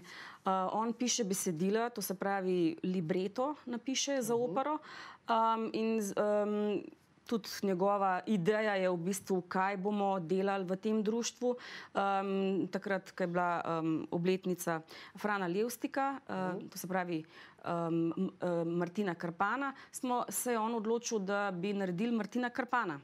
Sicer smo majhna zasedba, to se pravi, nimamo velikega ansambla uh, Ja. na razpolago, uh, tako da se meni zdi popolnoma briljantno, da je uh, na, seveda se držimo Levstikovega teksta, ampak je zraven dal še dva protagonista, to se pravi Sov in Kobilo. To se pravi, sov Ja. uh, kot modrost, ki zmeraj dvomi, premišljuje, in pa kobila, ki slepo veruje Martinu Karpanu in je njegov, tako da rečem, fan. Aha. To se pravi, zraven sta dodana dva protagonista uh, v tej naši komorni operi Martin Karpan. Uh, sodelujejo, uh, imamo vrhunske soliste, uh, je v bistvu mala opera, da temu rečem. In sem zelo ponosna na to, je bila premjera v Cankarovem domu in pa v Berlinu, v Brechthausu. Tako da uh, to je opera, ki smo Ja. ja. naredili, Martin Karpan. pa La Fontenove basni. La Fontenove basni, ja, Ja, je pa balet za otroke. Um, je pa tudi moj mož spisal besedilo v verzih uh Mhm. -huh. za to. Um, La Fontaine, kot vsi vemo, njegove te La Fontainove basni so zelo znane. Ne? Evergreen. Tako, Evergreen. Um, no, in eh, ker je to predstava za otroke. In otroci že od nekdaj, že od vrca poslušajo basni, to se pravi te zgodbe um, o živalih. Nauki. Ne? Nauki, Ja, ja, točno ja. to. In na kar smo um, iz tega naredili baletno predstavo, ki pa mislim, da je tako res ultra uspešna. Da tako rečem. Martin Karpan je imel že 53 po, to ponovitev, um, La Fontaine se pa bliža. Da, Bliža. Tako. Ja. No, uh, dragi gledalci, to vam jaz lahko lastnoročno zagotovim, da so fenomenalne predstave um, in da se jih splača pogledati. Ja? Med drugim, pedagoginja, učiteljica, hm? učiš na glasbeni šoli. Tako. Ja? Večer. kakšne, kakšne um, kjer je starosti? Spet Ja, tako bom mladi? rekla, od 5 do 15. Ja? Tako, um, moram reči, da imam uh, to srečo, da mi pedagoški poklic še zmeraj obožujem. tako da delo z mladimi. Ja, ja. Uh, tako da v bistvu to je vsakič izziv. Uh, to je individualen pouk in seveda vsak otrok je unikat zase. Tako da zdaj to ni nekega pristopa, ne, da je za vse enako, ampak se ti moraš vsakega posebej poglobiti. Tako da uh, meni se zdi. Je čar pedagogike v bistvu v tem, ne, mislim, skozi sem si jaz vedno predstavljal, to, da je individualizem, ne, da se ne greš na neko širino in vsakega isto. Ne. Absolutno. Ampak čar vsake, da dobiš vsak Ja. neki diamantek posebej. Ne. Ja. Sploh pa pri taki, taki stvari, kot je glasba, ki potem res lahko vidiš, kako se razvijajo. Ne. Pa, da, na, načeloma otroci so zelo talentirani. Jaz sem tudi te vrste pedagog, ki se nikoli v življenju nima talenta. Vsak človek, vsak človek, ampak čist vsak ima ali en ali pa več talentov. ne. Zdaj, odvisno, v kaj se usmer. Um, uh, koliko mu je bilo dano, da preizkusi zadeve. Um, pa sam talent, kot sem rekla, vsak ga ima. Ampak ena največja zadeva, poleg talenta, je pa garanje. Delo. Se pravi, talent v kombinaciji z garanjem, delom, samo tako lahko kaj narediš. Ne? Mislim, lahko iz, iz lastnih izkušenj rečem, da tudi ljudje, ki nimajo talenta, pa samo z delom, lahko tudi marsikaj. naredijo. Absolutno, absolutno. Ne. Ampak če pa talent je pa mogoče, mogoče lažje. Rahlo laže. Ra ampak samo rahlo, to si dobro rekel. Ja, ja. Ja, ne, mislim, mnogo krat je verjetno tudi težje, kot si rekla, ne, ker, ker mogoče kakšen pritisk čutiš, mogoče vidiš stvari na drugačen način. Ne, če, če nimaš takega širokega razumevanja, potem nimaš tudi take teže, ne bremena. Točno to. Ja. Točno to. Tujina. Tujini si tudi nekaj delala, ne? Uh, ja. Bolj strokovno. Aha, si, aha, to si bolj strokovno. Ja, dvakrat sem uh, bila na konferenci. Um, na EPTI, to je v bistvu mednarodna pianistična konferenca. Takoj sem pol še pomislila, ker sem za tujino še nekaj drugega delala. Ja. Uh, se bom pol umenila, ker mi je hecna kombinacija. Ja. Ja, na Evropski konferenci uh, v Madeiri uh, sem predstavila slovenske pianiste. Uh -huh. V Manchestru na konferenci pianistov sem pa predstavila uh, našega izjemno znanega skladatelja. Preširnega nagrajenca Aleza Srebotjaka. On je napisal fantastično zbirko Skrcando in sem v bistvu z mojo učenko na mednarodni konferenci to predstavila. Da, če se pa že navezujeva uh, uh, za tujino, mi je pa um, v bistvu tako, nekateri pravijo, jaz samo klasika, jaz samo pop. Jaz mislim, da če si glasbenik, moš vse zadeve nekako Poslušati, slišati. Točno to. No, tako da, če smo že omenila um, tujino, sem tudi za, um, to mi tudi zelo zanimivo, no, za Rika Springfielda. On je pa Gremijev nagrajenec. Um, me je pa uvrstil na uh, svoj CD, sem v bistvu naredila uh, klavirski aranžma za njegov hit in v bistvu zadeva je tudi na njegovi plošči, ampak je Gremijev nagrajenec. tako da. Fenomenalno, fenomenalno. Ja, nekje sem zasledil pa tudi, da, da so tvoji uh, učenci uspešni. Absolutno. Ja? ja. Kakšne uspehe dosegajo? Ja, uh, Tako me mislim- zanima tudi, kaj sploh so uspehi recimo v glasbeni šoli. Ja, no, že Vsi to- vemo v nogometu, v košarki, Ja. kaj je uspeh. Kaj je No, na, na klasični- tekmovanjih, naprimer, uh, uspehi, a ne, je kar nekaj teh nagrad z učenci. Um, tudi za me je to velik uspeh, če se potem uh, učenec, ne, ko, ko, ko z njim delaš par let, ne vem, deset let, pa gre potem naprej študirati. Meni se to zdi tako izjemen. Uspeh za učitelja. Absolutno in sem mm, izjemno ponosna na svoje učence, bolj če grejo naprej študirati. Ne, jih je kar nekaj, tako da to je res um, neko Zadovoljstvo. Zadovoljstvo. Ja, ja. to. Jaz sem mislil, da, so, da, so, da obstajajo kakšne tekmovanja, kako izgleda to tekmovanje. Mislim, obstajajo kakšne tekmovanja? Ja, seveda, sej, nekaj časa sem tudi jaz dajala učence na tekmovanje, pa so tudi ne vem, za komorno igro, naprimer, ki sem Mhm. prej omenila, um, so prvo mesto na državnem tekmovanju dobili. Pol pa sem nekako prišla do enega zaključka, ne vem, ker se mogoče začneš še bolj s to psihologijo otrok ukvarjati, ne, Mhm. da je to le tekmovanje nek pritisk za otroka. Mhm. Um, tako da v bistvu Aha. zdaj dajem na tekmovanje res tako, če bi si otrok to želel. Razumem. Če bi ja. si otrok to Ja. želel, ker um, enega lahko tekmovanje popolnoma dvigne in ga zmotivira, da bo še bolj vadil, drugemu pa lahko tudi kakšen neuspeh uh, pusti posledice. Mislim, tako, ne. Ja. tako da tega kot pedagog si ne želiš. Ja, verjamem. verjamem ja. Zdaj pa še za konec si zapisal en zelo pomembno vprašanje. Ha. Virtuoz. Uh -huh. Sem zasledil ob imenu Saša na Movski potisk, sem zasledil tudi izraz virtuoz. Kako se počutiš glede tega izraza? Joj, jaz um, zase ne bi nikoli to rekla. Mogoče. um, ne vem, zato ker pač virtuoz sama beseda pomeni, da, da tehnično nekaj do potankosti obvladaš. Ne? Mhm. Ampak jaz sem v bistvu človek, ki ima uh, skozi to pred sabo. Do smrti se je treba učiti, do smrti se je treba izobraževati, in nikoli nisi tako perfekt, da se ne bi mogel še kaj naučiti. Čim bi si človek rekel, huh, sem najboljši, jaz mislim, da pol propadeš. Člo, človek mora biti tako, da te skozi neki interesira, ne, da se učiš res do konca svojih dni, dobesedno to mislim.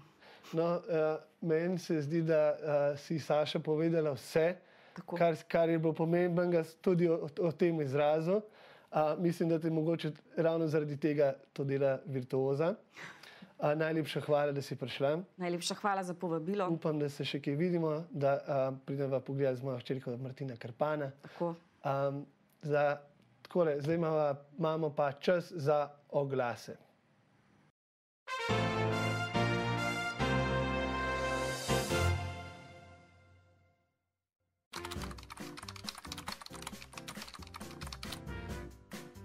Mislim, da znam, to lahko naredim sam.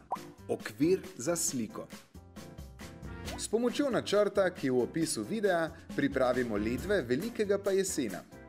Na eno stranico letov urežemo utor skupne debeline stekla, podlage in slike. Globok naj bo 8 mm. Na nasprotno stranico letov urezkamo utor v obliki črke V globine 8 mm. Izrežemo željeno dolžino stranic pod kotom 45 stopinj. V spodnjo stranico zvrtamo dve luknji, kjer bo fiksirana elastična vrv. Ob luknjah zvrtamo še prostor, kamor se bo zagozdil vozul. Na zadnjo stran zgornje letve zvrtamo luknjo, kamor bomo obesili sliko. Pobrusimo in naolimo letve. Namestimo elastiko, podlago, sliko in steklo. Pazimo, da bo elastika dovolj napeta. In voilà! Okvir za sliko.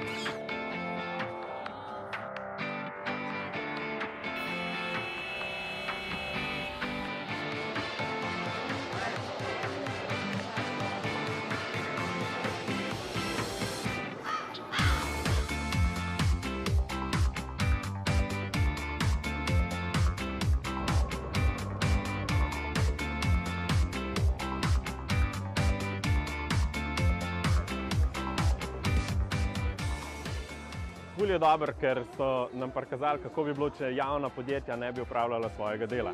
Zelo je fajn, ker so 3D očala. Iz grga sveta v lep svet je bilo še najboljše. Videti bi mogli tudi tisti, ki že to vemo. Tako da sem vesel, da sem to videl, da vem, da delam pač določene stvari prav.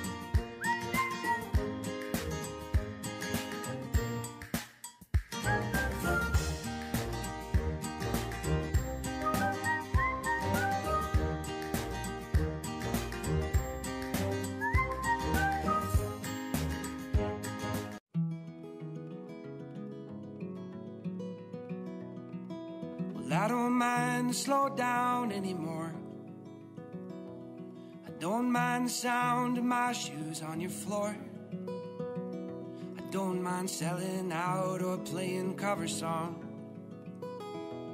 Just as long as friends and family sing along. And I don't need more money or faster car now. Don't need a magazine to call me a superstar now. I'm gonna take this little house and make a home. And then I'll never have to face my nights alone. Well, I don't mind the slow down anymore. I don't mind the sound of my shoes on your floor anymore, anymore.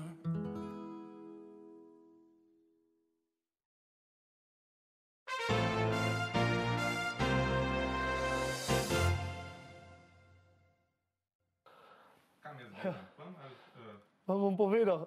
Dobrodošli nazaj, dragi gledalci, drage gledalke. Uh, zdaj imam pa tukaj že novega gosta. Malce sem zadihan, ker je bilo tako treba vse hitro pre, premenjati. Uh, z nami je gospod Tomaš Virnik, predsednik Jadralnega kluba Ljubljana. Dobrodošli. Hvala. Ja. Pozdravljeni vsi skupaj.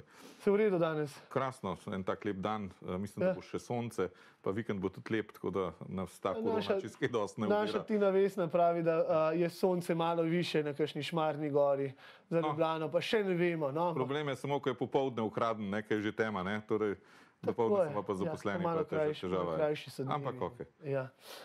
Torej, da začnemo pri začetku. Jadralni klub Ljubljana. Zanimivo, ne? Začnimo. Kje se, kje se je začelo? Kdo je bil, kdo je bil pobudnik recimo Jadralnega ja. kluba Ljubljana, ki vemo, da Ja, razen ja, parih ja. nekaj Dosti jezer. zanimivo, no, dosti zanimivo. Uh, dejstvo, jaz sem premlad, da bi vse to uh, bil zraven, ne? uh, ampak kljub vsemu uh, je, moram poudariti, da je Jadralni klub Ljubljana najstarejši jadralni klub v Sloveniji. Uh, začelo se je vse tukaj na Ljubljanici leta 1949. Uh, en od takih znanih ustanoviteljev je bil eh, Mirko Bogič, uh, našega kluba, seveda je bilo tudi uh, več drugih.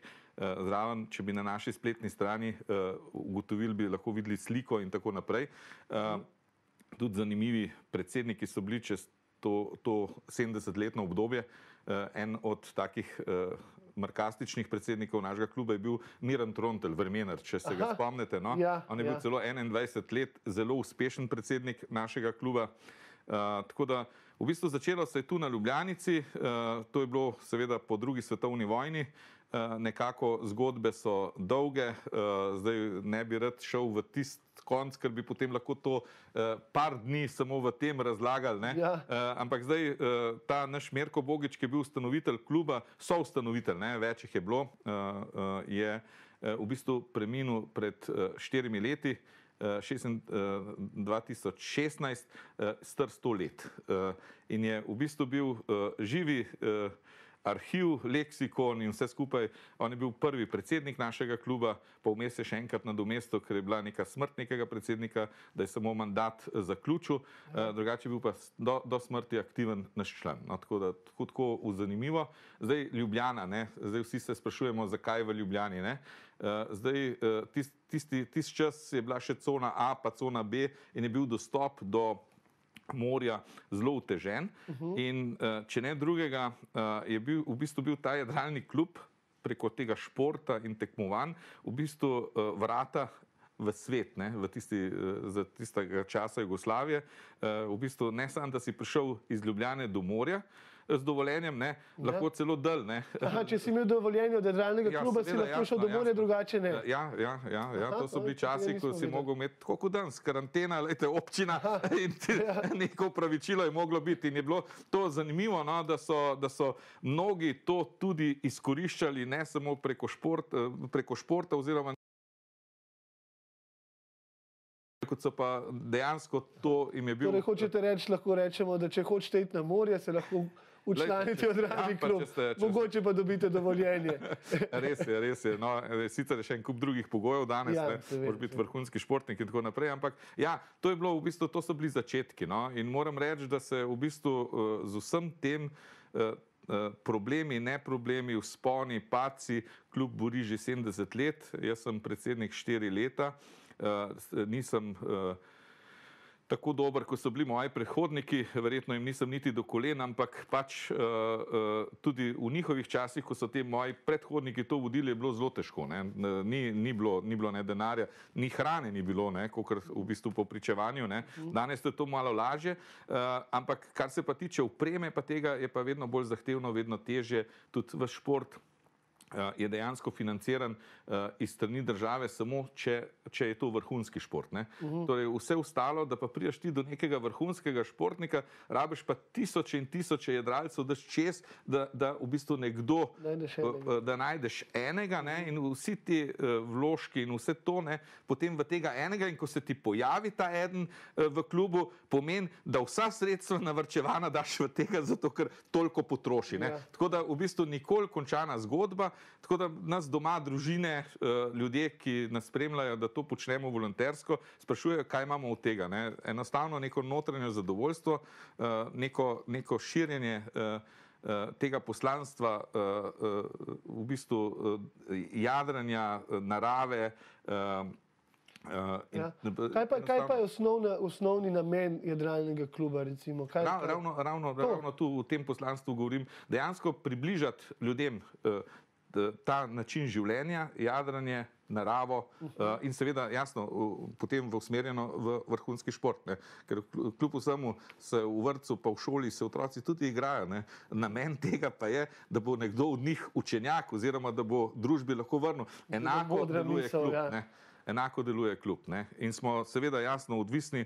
Uh, klub ni predsednik, ne? jaz sem samo predsednik na papirju, eh, klub so ljudje. Ne? In zdaj eh, v našem klubu je cirka, ne vem, takih aktivnih, ki plačujejo članarino. Cirka 120 eh, na leto jih plača, te se tudi malo med seboj menjajo. Takih pripadnikov kluba, mislim pa, da imamo v bistvu kar več, eh, več sto. Eh, Tako da v bistvu sto? Ja, takih, ki, pač, ki se malo oddalijo, ampak še vedno so pripadni, pridejo občasno. Vsak četrtek imamo sestanek, eh, zdaj seveda ne, zdaj to preko Zuma eh, delujemo. Eh, tako da, da, da v bistvu je ogromno teh ljudi, ki, se, ki, ki so tu začeli, ki, so ki nadaljujejo kje druge, pa se še vedno čutijo pripadne nam. Pa, pa recimo v jadralni klub spadajo tudi taki, ki niso recimo vrhunski športniki, ja. Ampak so recimo skiperji na kakšnih velikih jadrnicah. Ne? Ljudje smo pozabljamo že, ampak obstajajo tudi ogromne, velike, ja. luksuzne jadrnice. Ra, ravno, ravno posebnost našega kluba je ta, da dejansko zajemamo vse spektr. Ne? Torej od otrok do vrtu, vrhunskih jadralcev in seveda teh uh, čarteristov oziroma teh odraslih entuzijastov. ne. Ja. Eh, Ali pa sploh na, navadnih turistov. Tako, v bistvu, eh, pri nas so zbrani čisto, čisto vsi, eh, ki jih v bistvu veseli jadranje. Ni, ni zgolj vrhunski šport, ni zgolj uh, otroške sekcije, ni zgolj samo odrasli. Imaš vrsto teh klubov, ne, ki v bistvu se, se v bistvu specializirajo oziroma specializirajo. Zdaj morate vedeti, da tisti odrasli klubi, ta veliki, je predvsem uh, nekako in isti interes teh odraslih ljudi, ki v bistvu preko svojih firm ali pa nekaterih firm mogoče nekaj denarja, zdaj, če, če grdo rečeno, uperejo oziroma si, si prenakažejo sponzorsko v, v ta svoj hobi. Ne. To pri nas ni. Ne. Pri nas je v bistvu dejansko so, so vsi, ki, eh, ki v bistvu ljubijo uh, morje, V jadranje. bistvu klub za ljudi, ne, Klub za ne, ljudi, ne ja, ljudje ja, za ja, klub. Blazno socialno, seveda za to ne gre nič. Ne. Uh, imamo, pa, imamo pa v bistvu na, na politiko tako, da tisti, ki nima in želi, ne, lahko s primernim obnašanjem dobi vse brezplačno. Uh, zdaj, če pa imaš, pa to skrivaš, pa tudi take smo že imeli, tako, da koristi sistem, ne, te pa slejko prej upozorimo, da moš prispevati tako kot v... Pošte, si, si, sistem ja. poštenosti. Ja, ne. ja, ja, ja. Tako je, ja. To bi, to bi lahko mogoče kdo, ki ne, če nas kdo gleda a, a, iz višjih rangov Slovenije, ne lahko malo se Ja, naučil, ja, ja, kaj ja. pomeni sistem poštenosti. Um, Tečaj za mlade imate. Tudi. Veste, kaj me zanima? Kje pa jih trenira, kje pa trenirajo mladi? Glejte, ena od posebnosti, ne, eh, tudi jaz kot otrok sem v bistvu začel na Ljubljanici jadrati, potem na Koseškem bajeru, potem na, eh, na morju, potem na drug, eh, raznih slovenskih jezerih. Zdaj tako, če, če gledamo v tem mladih, ne, torej eh, eh, klasa optimist, kjer v bistvu otroci začnejo tam cirka od 6. 7. leta pa do, do 14. oziroma do 15. leta, eh, je to čisto majhna, ta dva metra dolga jadrnica. Tista, ki niti ni oblike jadrnice. Ja, je ja, ki sicer ima prikrito obliko. Ja, Prikrito obliko. prikrito. Oblika je kar dobra in zelo ja. pogruntana. To je najbolj številčna klasa na svetu. Ja, vem, ne, ampak pravim za laike, ne, je To pa to res. tista je jadrnica, ki ne zgleda no, kot in Zdaj v bistvu ta posebnost je, da v, zdaj že par let, jaz mislim, da že desetletje, začnemo s tečajem na Ljubljanici. Torej, v bistvu uh, uh, med Špico in Prulskim mostom jadramo. Uh, zdaj vsako leto in smo ugotovili, da v bistvu te mladi otroci na obudniku pridejo, da je v bistvu to za začetek jadranja idealno, zato ker preden da usvojijo vse te eh, variante, odkot piha, zakaj piha, eh, zakaj se premika in tako naprej. In Ljubljanica ob normalnem vremenu nudi nekaj, kar morje ne nudi. Ne? Pu- Pustite, da, v bistvu, da se peleš in ti daje, in ti daje ja. neko samozavest. No, ampak seveda tu se ne more končati uh, jadranje. Uh, v bistvu, če hočeš imeti vrhunskega jadralca, mi smo uh, imeli že v sami Jugoslaviji smo imeli enega od jadralcev, ki je bil uh, državni prvak državni prvak v Jugoslaviji v tem optimistu, drugače pa Ljubljančani sami imamo tudi dva svetovna prvaka v, v mladinskih eh, klasah. Ja. Sicer nista naša člana, ampak sta Ljubljančana in tesno tudi povezana, seveda jasno, s klubom, ker naš klub je v bistvu eh, dejansko mati marsikaterega eh, klub, ne, eh, ja. kluba, kjer so v bistvu njihovi starši začeli pri nas, ali pa še njihovi starši, pa so potem se razvili naprej, pač jih je interes uh, pel v drugo pot. Tako da mi smo pa to vse skupaj nadgradili. In je zelo zanimivo, da zdaj v bistvu vsako leto poteka, tudi letos za časa COVID-a eh, in te epidemije, eh, poteka eh, mednarodna regata na Ljubljanici. In pridejo v bistvu iz vseh, eh, iz vseh slovenskih klubov in tudi iz tujine k nam na to regato dvojic in se je pokazalo, da v bistvu da otroci zelo uživajo. Kar je pa posebnost te regate, pa ta, to, da v bistvu starši in trenerji lahko hodijo v Ljubljanici in spremljajo, v opazujejo. bistvu opazujejo prvič v življenju, kakšni starši vidijo svoje otroke, koliko znajo, kaj delajo, ja. kako se borijo za, za to uvrstitev. In je neverjetno, nam eh, eh, je bila ta podgotavščina in to je edina regata, ki je v Sloveniji na tak način, da je na reki, ki teče. ne. Ja, Zdaj, ja, eh, zdaj, v Mariboru ali pa kje, kjer so te akumulacijska jezera, je kljub samo jezero. Ne? Tu je pa reka in je regata speljana in moram reči, da ni, da zmagujejo vedno profesionalci oziroma najboljši otroci. Torej, ni nekaj, kar bi rekel, zdaj seveda jasno, ko še kakšnega primorca poslušaš, pa to je brez veze, to ne pele nikamor. Ja. Pa ni res, ne? Eh, Je dejansko, eh, je dogodek, eh, je promocija za jadranje, kar so že prej rekli, ne? kar je, kar je bistvo našega kluba. Ja. Eh, Tako da moram reči, da, da nam je ta pogrotavščina uh, kar dala, uh, to ni bila sicer moja ideja, je bila od ene naše članice, ampak moram reči, da prvo sem rekel, "Ah, pa to je brez veze na Ja. Ljubljanci. Sej, In se je izkazalo tako za, za začetek, za trening, ne, ker nekateri, ne vem, skandinavci učijo otroke v bazenu jadrati. ne. Eh, Ta Ljubljanica je več kot bazen. Ne. Se upravičujem, bova, bova o tem na, naprej, takoj potem, ko mi a, na kratko odjadramo v oglase.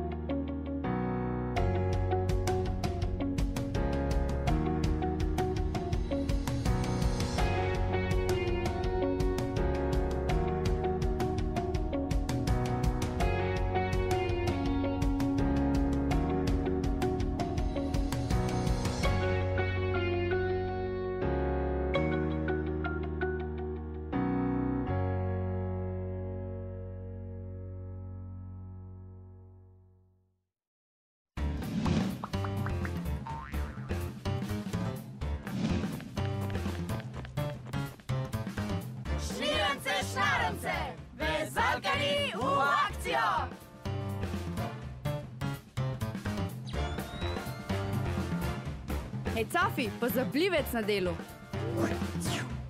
Uf, 28 stopinj, pa pa tega zebe.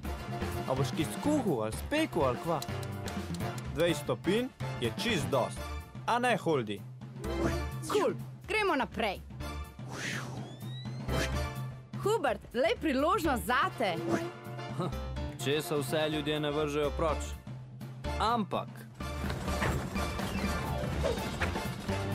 Narejeno, stari, narejeno. Unikatna znamka slušalk, ki je ne najdeš zlahka. Kdor zna, pač zna. Vojka, kaj pa tega pere? To je 2, super učinkovito naravno čistilo, brez negativnih posledic za okolje. Dobro spucaš, malo pa nucaš. Urbi, lega, lega modela.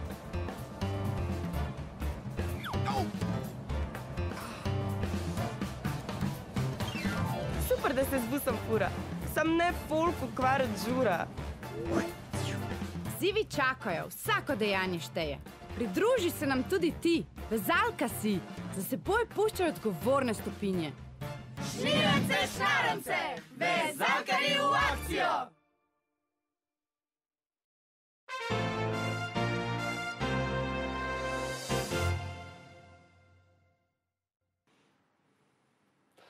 Pozdravljeni, dragi gledalci, drage gledalke. Danes je z mano gospod Tomaš Virnik, predsednik Jadralnega kluba Ljubljana. Um, mi smo se pogovarjali o regati dvojic na Ljubljanici. Kako to izgleda, kdo to organizira, Ja, kako, kako, dolg, kako dolgo je že to obstaja. Uh, Da je regata dvojic, ne, uh, prej smo že nekaj povedali, uh, v bistvu pet let uh, že obstaja.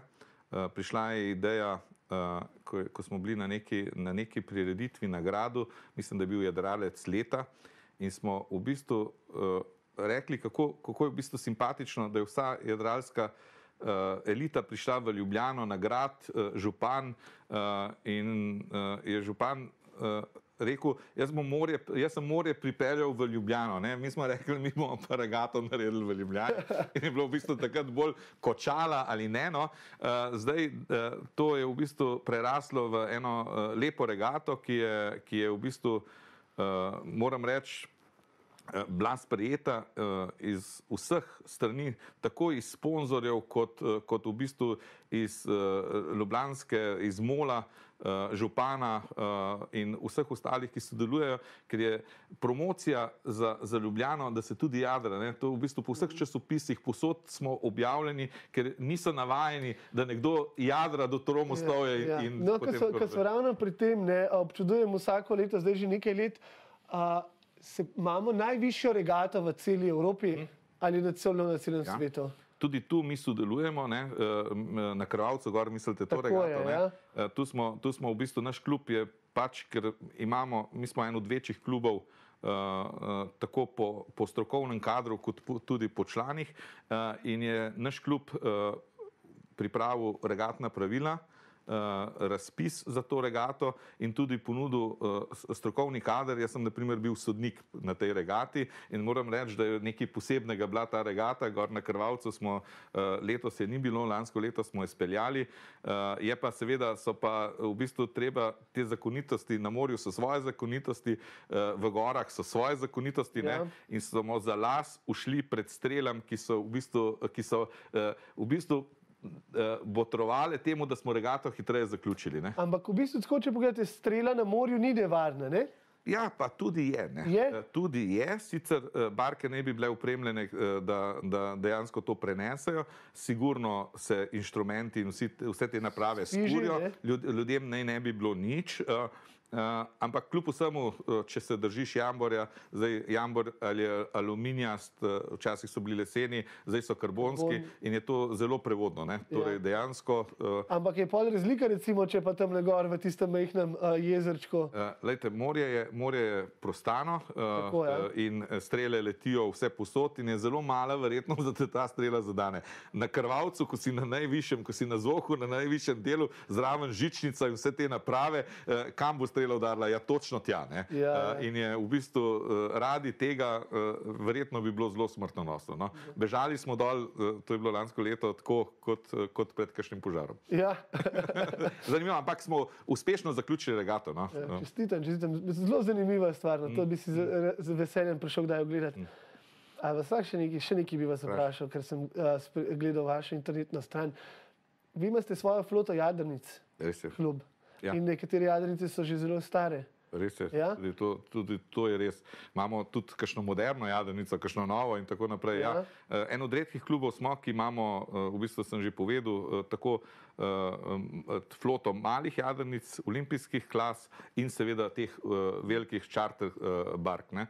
Eh, zadnja pridobitev je bila eh, lansko leto, ko smo v bistvu kupili eh, X35, to je neka mednarodna klasa eh, zelo, eh, zelo priznanega proizvajalca danskega eh, in moram reči, da nam jadrnica od lanskega leta zelo dobro služi. Sicer smo kupili rabljeno, ampak je kot nova. To je v bistvu najbolj sodobna pridobitev našega kluba.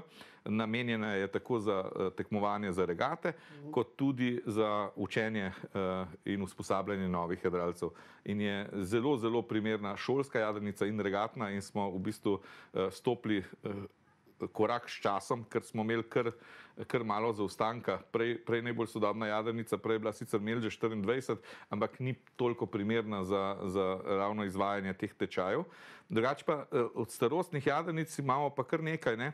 Imamo neko udarnico, ki je tudi v tem biltenu slikana iz tistih preteklih časov, naj bi bila po pričevanju To imate našega. knjigo, lahko pokažete. Ja, knjigo. ja, to je nek bilten, ko je bil klub pred 20 leti oziroma 21 leti eh, 50 let, eh, danes ima 71 let, eh, je najstarejši klub, še enkrat Ja. eh, povem, v eh, Jadralni klub v Čestitke. Sloveniji. Hvala lepa, ni bilo lahko priti do tu, pa jaz upam, da bo tudi za nami še ta klub. Eh, Če se vrnem hudarnici po pričevanju tega našega usta- ustanovitvenega člana eh, Mirka Bogič, je ta udarnica eh, sicer v mnogih predelavah lesena, eh, to je cirka 7-metrska jadrnica, bila avstro-ogrska šolska jadrnica. In kljub jo je prevzel leta 50, zdaj po nekih Včasih v času socializma se je to bolj uh, dodeljevalo, nekaj se je tudi kupovalo, ampak dejansko so mogle oblasti biti seznanjene oziroma so mogli dati privolitev, da si dobil neko plovilo, ker veste, plovilo je bilo tudi v bistvu pot v svet. ne. Uh, tako da, da Hitro da, lahko hitro lahko zaliv marsikdo je pobegnil. prebežal tudi v Italijo z našo klubsko jadrnico, A ja, to se je tudi dogajalo. Kljub uporabu kot, No, kot zaradi tega sem omenil stare jadrnice, ker kot pomorščak ne Ja, vem, da ja, ja. starejša, ki je ladja, Ja. uh, več ima zgodb za sabo. Ne. Ja, ne, Sem v- shodil ne, vprašati, verjetno, no, kakšen ta taki- udarnica je tako, da naj bi bila, bila izpred 1900, torej 1896, čeprav upisana v, v registr plovil je pa šele 1950, ko smo jo mi staro Prevzeli. dobili, ne, prevzeli. Ne, tako da eh, ta zgodba, ampak to je pač zgodba eh, tega našega Mirko Bogiča, nekaj, vsaka jadrnica ima dušo, ima zgodbo in se prenaša, če ne drugače, iz ust do ust. No. Eh, Zdaj dokumente iz pretekrat pač ne moremo dobiti, nekaj slik je, je pa seveda zdaj to barka, ki se, ki se, ki se je plastificirala, zato se je tudi ohranila, ker zdaj eh, torej v klubu je že 70 let. Ne. Ja. Eh, To, že to vzdrževanje neke lesene jadrnice si Ja, sem jih hotel vprašati, ne, kako take jadrnice ponovadi ne zdržijo druge, kot v muzejih, Ja, pa recimo v klubih, kjer se lahko nekdo ukvarja, kjer je nekdo ljubitelj. Ne. To je kar težko. Ja. In zdaj eh, v klubu ne, zdaj imamo, uh, zdaj imamo, uh, prihajajo novi tečajniki, novi ljudje z neko voljo in v bistvu vsakeč potem damo tem novim zagretim ljudem, da, da v bistvu probajo v bistvu malo obnoviti te naše stare barke in jih seveda v, v zaslugo za to, v zamenjavo tudi pol uporabljajo. No.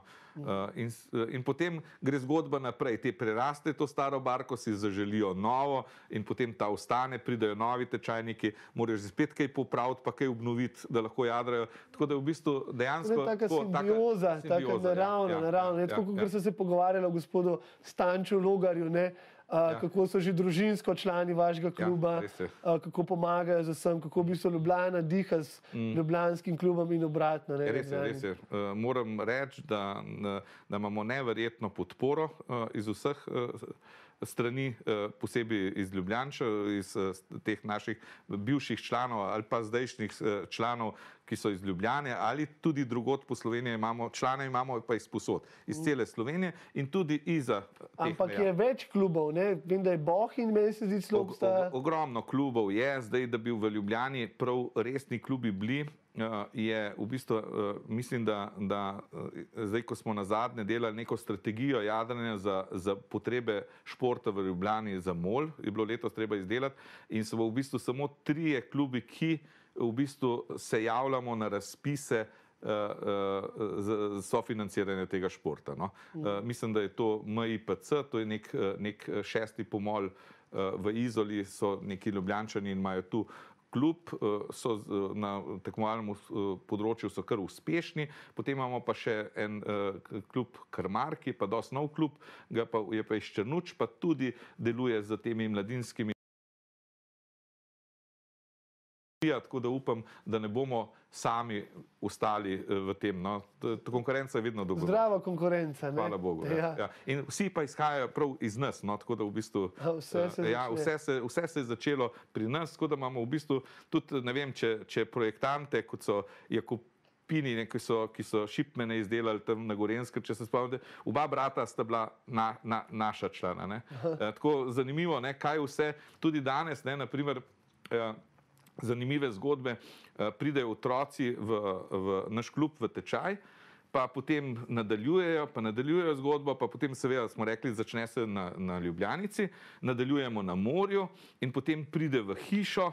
Uh, to, to še pred leti, ko je bil Mirko še živ, pride, pride uh, en od teh malih otrok v hišo in potem eh, čez 14 dni povem, sem doma babici povedal, da smo bili v hiši in da je bil še tam ta Mirko Bogič. Prav še, ko sem jaz šla v tečaj v igralnem klubu, je bil že on star, a je še živ. Tako, zanimivo, ne, ko, Ja, se, ja. ko se v bistvu to po tri generacije zapovrstjo, uh, zelo zanimivo. No? Ja, Uh, ja. tako, Dolg časa nisem slišal take zgodbe. ne. Eh, ja, Zelo ja. veseli. Uh, jaz se vam naj, najbolj najlepše zahvaljujem. Uh, naj dva, nažalost, čas priganja. Um, upam, da najdemo še kakšen trenutek, da se malo pogovorimo. Mogoče poleti Vedno pridem, pridem na obisk vam na teren. Pri, pridite, seveda, jasno, pridite ali, ali kakšen dan pojadrati, ali pa v bistvu, ko bo regata dvojic, pridite z ekipo, posnamite, pogledajte, vam bo zanimivo, reklama bo tudi Ja. za vašo televizijo, eh, tako da vsi dobrodošli. No. Tako, tako, mogoče naredimo kakšen Ja. trening, prej pa posnamemo. Ja, ja, roke. mogoče celo vašo ekipo, da med sabo Ja. primerjamo. ja. Ja, gospod Tomaž Virnik je bil z mano, direktor Ljubljanskega dralnega kluba. A, še enkrat najlepša hvala. A, zdaj gremo pa na oglase.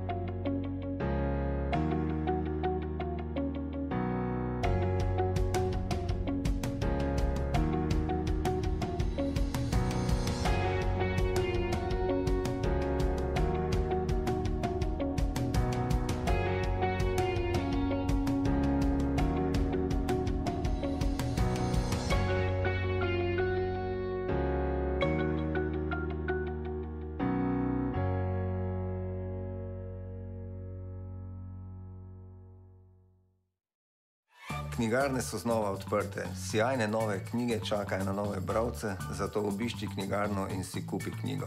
Knjigarne so spet popularne. Živijo. Živijo. Kaj delaš? Uh, ja, znak vam rubam. Zakaj pa to delaš? Ja, uh, uh, uh, jaz mislim, da zato, ker znak on je, a ne. Ugotavljam, če so dobro pritrjeni, a veste, ne? Če recimo znak kaj je, ne. Človek, čuvaj svoje mesto. Samo eno imaš.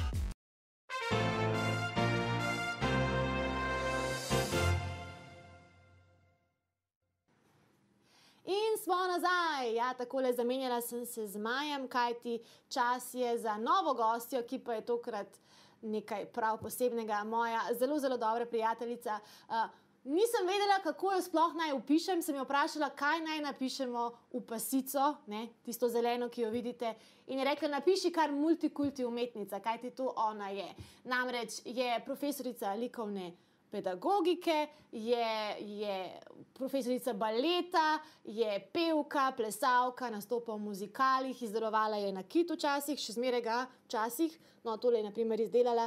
Uh, potem je lastnica znamke Mala baletka, napisala je knjigo Male baletke in njihove cvetke, sinhronizira risanke, koreografira zbore, koreografira lastne baletne predstave in še, in še fotografinja je, predvsem poroke veliko fotografira, tako da Tanja Pečenko je res vsestranska umetnica in moja dobra prijateljica. Pozdravljena! Živijo, kakšen lep napovednik. Ja, pa hvala. se težko te je pač sploh opisati. Prav zmanjkalo ti je skoraj sape. Sem Ja, res, sem bila, pa čim prej moram, da imamo pa sploh še čas se kaj pogovarjati, ne, ker v resnici najbrž se čisto vsega ne bomo mogli dotakniti. Ne?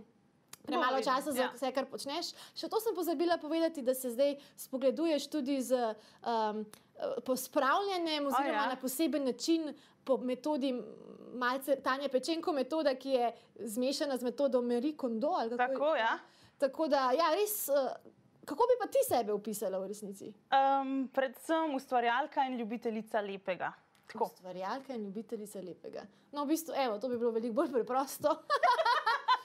Da, dragi, drage gledalke, dragi gledalci, z mano je ustvarjalka in ljubiteljica lepega Tanja Pečenko, oh. ki živi po enem prav posebnem motu, pa morda lahko začneva kar eh, s tem motom. Tanja, kaj je tvoj življenjski moto? Uh, definitivno vedno sledi svojim sanjam in vse je mogoče, če se hoče. Wow. In katerim sanjam ti trenutno slediš?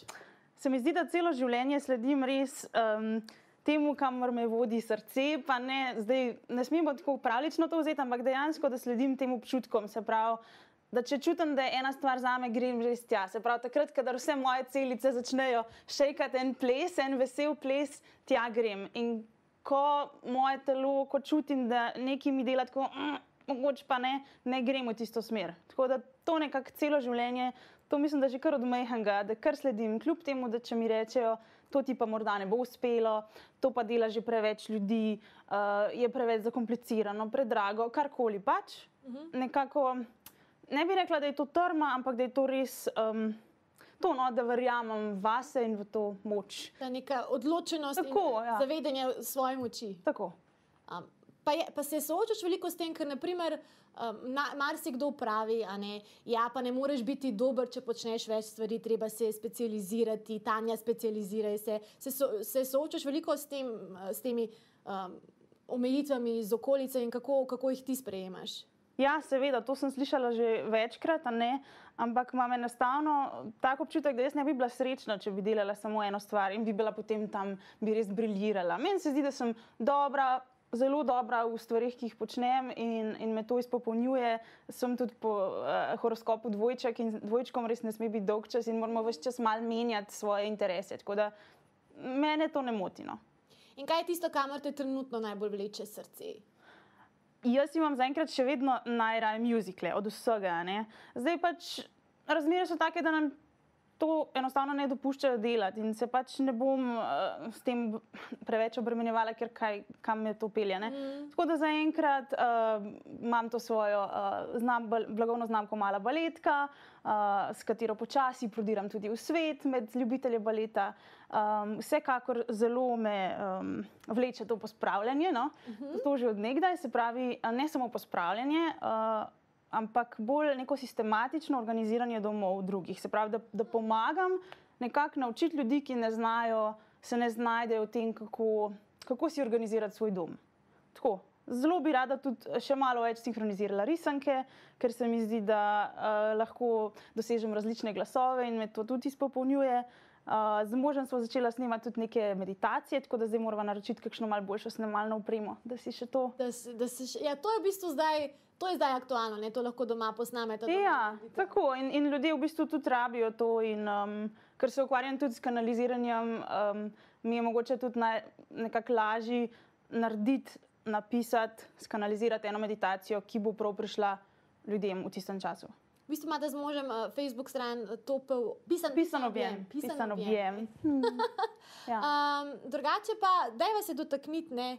Uh, ker to je nama je tudi skupno. Ne? In tako so se tudi mi spoznali. Jaz lahko povem, da je Tanja moja najstarejša prijateljica.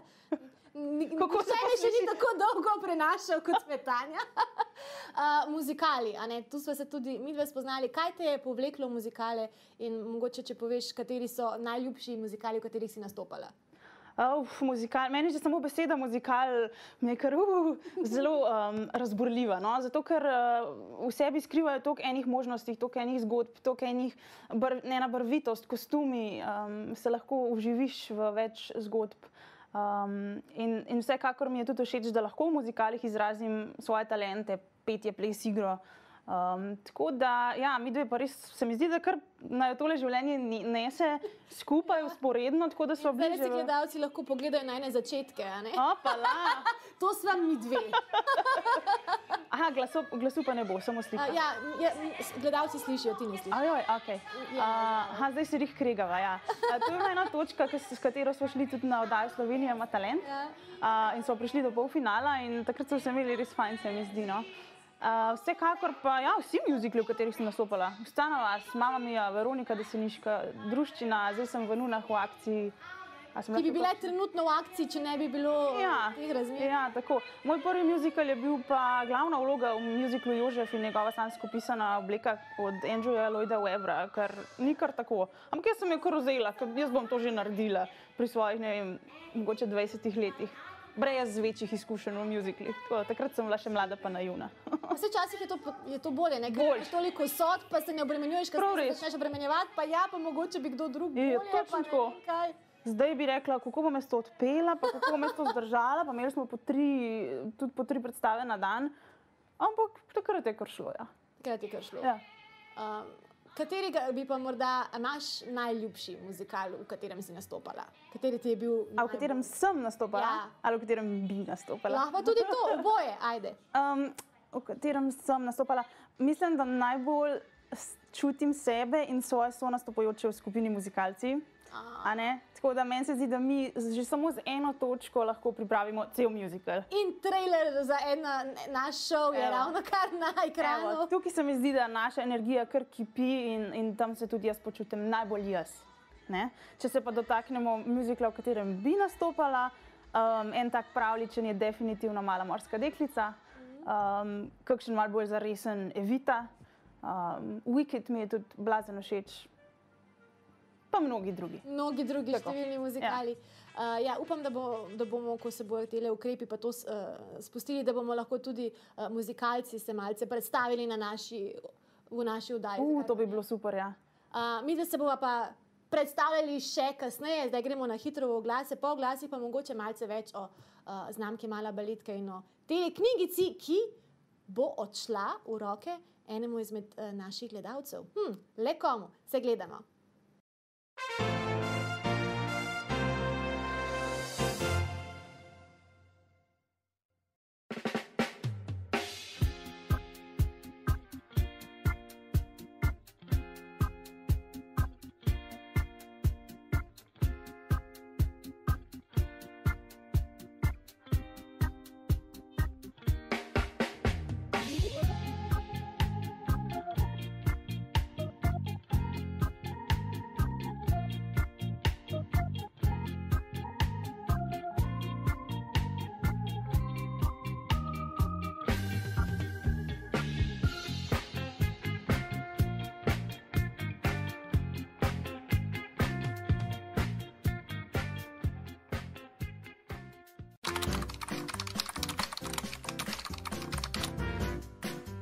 Mislim, da znam, to lahko naredim sam.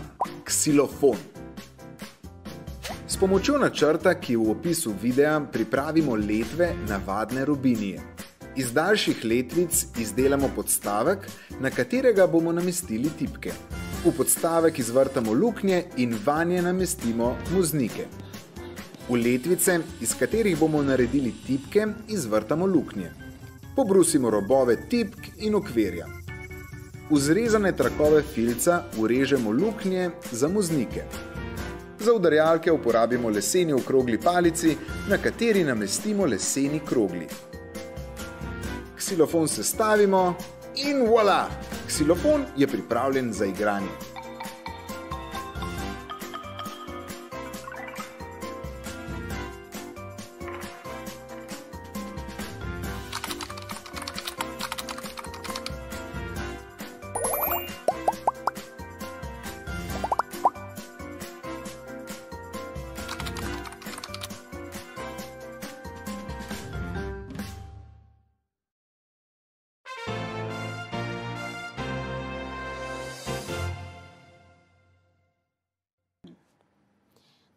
Nazaj v našo družbo. Z menoj v studiu še vedno Tanja Pečenko, Pečenko multikulti umetnica. Preden se pa znova posvetimo njej, pa gremo še malce k Tini Vesni do aktualnih novičk. Tina, kaj je kaj novega? Ja, lepo pozdravljeni obe. Um, imamo danes duet, Nuško Drašček in Simona Dvorška. Dvor... A, dvorška, Ja. ja Simon Dvoršek, no, zanimivo. Ja. Tako da imamo vokalno-instrumentalno srečanje. Danes od 18. do 20. ure preko spleta bo potekalo, organizira mestna knjižnica Ljubljana, seveda je brez vstopnine. In četrti večer v spredje postavlja v Sloveniji povsem zapostavljen muzikal. Uh, predstavila ga bo žanrska, vsestranska Nuška Drašček, katere glasbeni začetki so vezani na zborovsko glasbo, konkretneje na zasedbi APZ Tone Tomšič in Perpetuum Jazzile. Danes pa jo odlikuje zavidljiva slogovna širina. Dobro se namreč znajde tako na področju operne glasbe in samospevov, kot tudi znotraj zabavnih zvrsti, denimo šansona, kabareta, popa ter številnih drugih. Med drugimi velja tudi za vidnejšo predstavnico muzikla.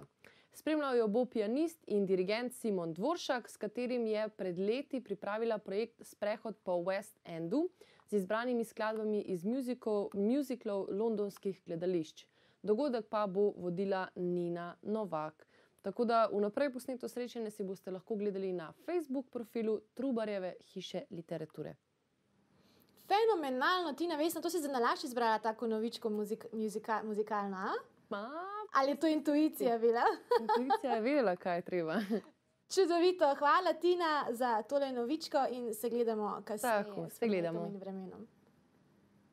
Ja, Tina je ravno povedala novičko o tem, da bosta Nuška Drašček in Simon Dvoršek um, imela nekaj muzikalnega. Ne? Tako da smo, smo, v, smo v, v stilu. Ne? A online? Online. Ah, moram tako. si pogledati. Tako bo, bomo preverili. Simona obe dobro poznava, smo tudi že z njim delali. Je nek pionir tudi muzikalov v Sloveniji. Uh Mhm. -huh. Zdaj pa se predstavimo malce od muzikalov k še tvojim drugim ustvarjalnim pletem. A, Dolga leta. Uh, učila si tudi na glasbeni šoli Nazarje in uh, to je bila najbrž inspiracija za tvojo znamko Mala balitka. Oziroma, kako si prišla na to idejo? Ja, v bistvu um, skozi vsa leta, ko sem poučevala, sploh na glasbeni šoli Nazarje, sem zbirala te zabavne anekdote, ki so mi jih med poukom, sploh na začetku ure, pravile moje, moje male baletke. In to sem potem v lanskem letu izdala v knjigi. In nekako skupaj z ilustracijami izvrstne Zorane Živič je nastala ta blagovna znamkica, uh, ki ponuja vse za ljubitelje baleta. Se pravi, in ja, knjigico, potem imamo letos koledar, eh, beležko, različne uh, kartice, voščilke, um, torbe. Uh, lahko pokažem, mogoče ena taka torba za, um, za baletno plesno opremo. Um, potem imamo ogrlice, šalčke, ti imaš tudi dve, ne? Ja, ja, evo sem prinesla. Tako da, ja, take stvari, ki sem si jih mogoče jaz želela, ko sem še obiskovala balet, pa se jih nekako ni dalo dobiti. In jih zdaj lahko, eh, zdaj ponujaš to, da si trenutne male baletke to lahko, eh, Ja. to lahko dobijo. Um, kaj pa sama knjigica? Uh, Kom, komu si jo posvetila in uh, zakaj si se odločila, da ja, jaz moram to zbrati in objaviti? Definitivno sem jo eh, posvetila svojim malim baletkam, ki so mi bile vsakodnevna inspiracija, eh, ki so mi nekako vsak dan, ko sem učila, so mi vlivale novih moči. To je tista otroška prvinska energija, ta neka veselje do življenja, lahkotnost, hvaležnost. Um, Živahnost. In to je vse tisto, kar je nekako prepojeno znotraj te knjige. In se mi zdi, da je prav zato ta knjiga primerna za vse, in za otroke, ki uživajo v lepih ilustracijah, in potem tudi za kasnejše, vse do babic, detkov, zato ker je zabavna in se ob njej lahko nasmejijo. V bistvu si lahko eno. Zjutraj odpremo na, ključno, na naključni strani eh, knjigico in ja. preberemo kakšno anegdoto, ki nas pravi v, v dobro voljo. Ja, to nekako je ideja. Tako.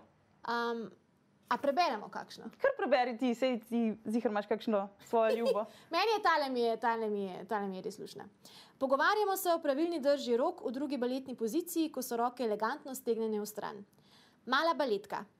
Jaz vsakič pri maši, ko župnik moli oče naš, hočem reči: Madonna, dvigni komovce, učiteljica Tanja bo jezna. res so, mislim, to je zbirka res samih simpatičnih, uh, samih simpatičnih anegdotic in v bistvu.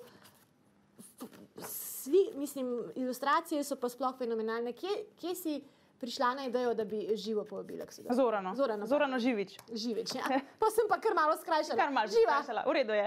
Uh, v bistvu sem na Facebooku, na njeni strani Zoki Art, um, našla slučajno eno, eno um, baletko, ki mi je bila zelo všeč in sem jo potem kupila. Uh, da, imam tako, da imam prav original v okvirčku. In v bistvu takoj smo se ujeli, obe smo tudi likovni pedagogini. in Nekako najprej sem mislila, da bi sama ilustrirala, ampak ko sem videla njene ilustracije, ki so res tako poetične in prav umetniške, no, sem rekla, ne, ona je moja umetnica, to je to. Še eno lahko preberem. Mala baletka. Danes je bilo tako dobro kosilo, kameleoni z mesom. um, kakšni so pa odzivi na to knjigico? Uh, mislim, da vsi lahko v njej prepoznajo to, te- to neko lahkotnost, um, pristnost otrok. Um, vsi mi pišejo, da jih zelo itak prevzamejo ilustracije, ampak um, tako no, mogoče, da se tudi spomnijo, kako je bilo, ko so bili še sami otroci, zdaj če govorimo o odraslih, ki jo berejo. Ne? Otroci pa nasplošno se mi zdi, da imajo radi, sploh punčke, imajo radi, rade roza barvo, baletke in tako naprej. In je tudi iz vizualnega vidika Ja. ja. to zelo zanimivo. Ja. Uh, ker so pa ilustracije tako dobre, si se pa najbolj tudi zato odločila, da boš naredila tudi koledar. Uh Mhm. -huh. Me, meni, meni krasi ta koledar uh, dnevno sobo in Ja. vsakič, ko ga pogledam, ne, mi je tako wow. Ne. In zdaj je koledar na voljo tudi v angleščini. Tako, za prihajajoče leto sem ga nekako naredila v angleščini in spodaj pri vsakem mesecu imajo en tak, eno afirmacijo, ki se mi zdi sploh v tem času še posebej pomembna, nekako, da si z mislimi dvigujemo svoje razpoloženje, je pa taka mogoče malo bolj plesno usmerjena afirmacija. Aha, da, na, da je vseeno tematsko baletno vse Tako, skupaj. tako. Um, si se pa zdaj odločila, dosti pred kratkim, da boš uh, svojo pot baletne učiteljice za, zaključila, oziroma vsaj prekinila. Uh -huh. um, kako ti je bilo ob tej odločitvi in zakaj si se odločila za to? Joj, to je bila kar ena izmed težjih odločitev mojega življenja, ker um, ful rada, moram uporabljati to besedo, ful rada poučujem. In um, res sem se tudi zelo lepo razumela s svojimi učenkami, smo bile res prav prijateljice. Um, ampak enostavno, prav, ja, čutila sem spet ta klic svoje notranjosti, ki sem ga dolg časa želela kar mal potlačiti. ne. Um, ampak enostavno, ja. nas je straha, ne? ker si mislimo, pa to ni logično Ja. ja. odločitev, pa kar tlačimo. Tista, Prav tlačiš, ja. ker mogoče ja, bo prevelika sprememba, kaj bom pa potem. Ampak eh, ja, bilo- mogoče sem bila tudi malo že izgorela, v bistvu sem. A ne, se kombinirati vse te stvari in, in poučevanje, ki ti vzamejo ogromno energije, ne, in priprava koreografij in predstav, ki je tudi moja velika strast. a Uh, in potem sodelovanje v muziklih, imeti svojo blagovno znamko, imeti svojo fotografsko firmo. Vse to me je mogoče že toliko izčrpavalo, da, da ja, nisem imela več prav tisto sebe. No. Tako da to zdaj v tem letu, to leto mi pa itak daje ogromno prostega časa in, in te priložnosti, da res najdem sebe.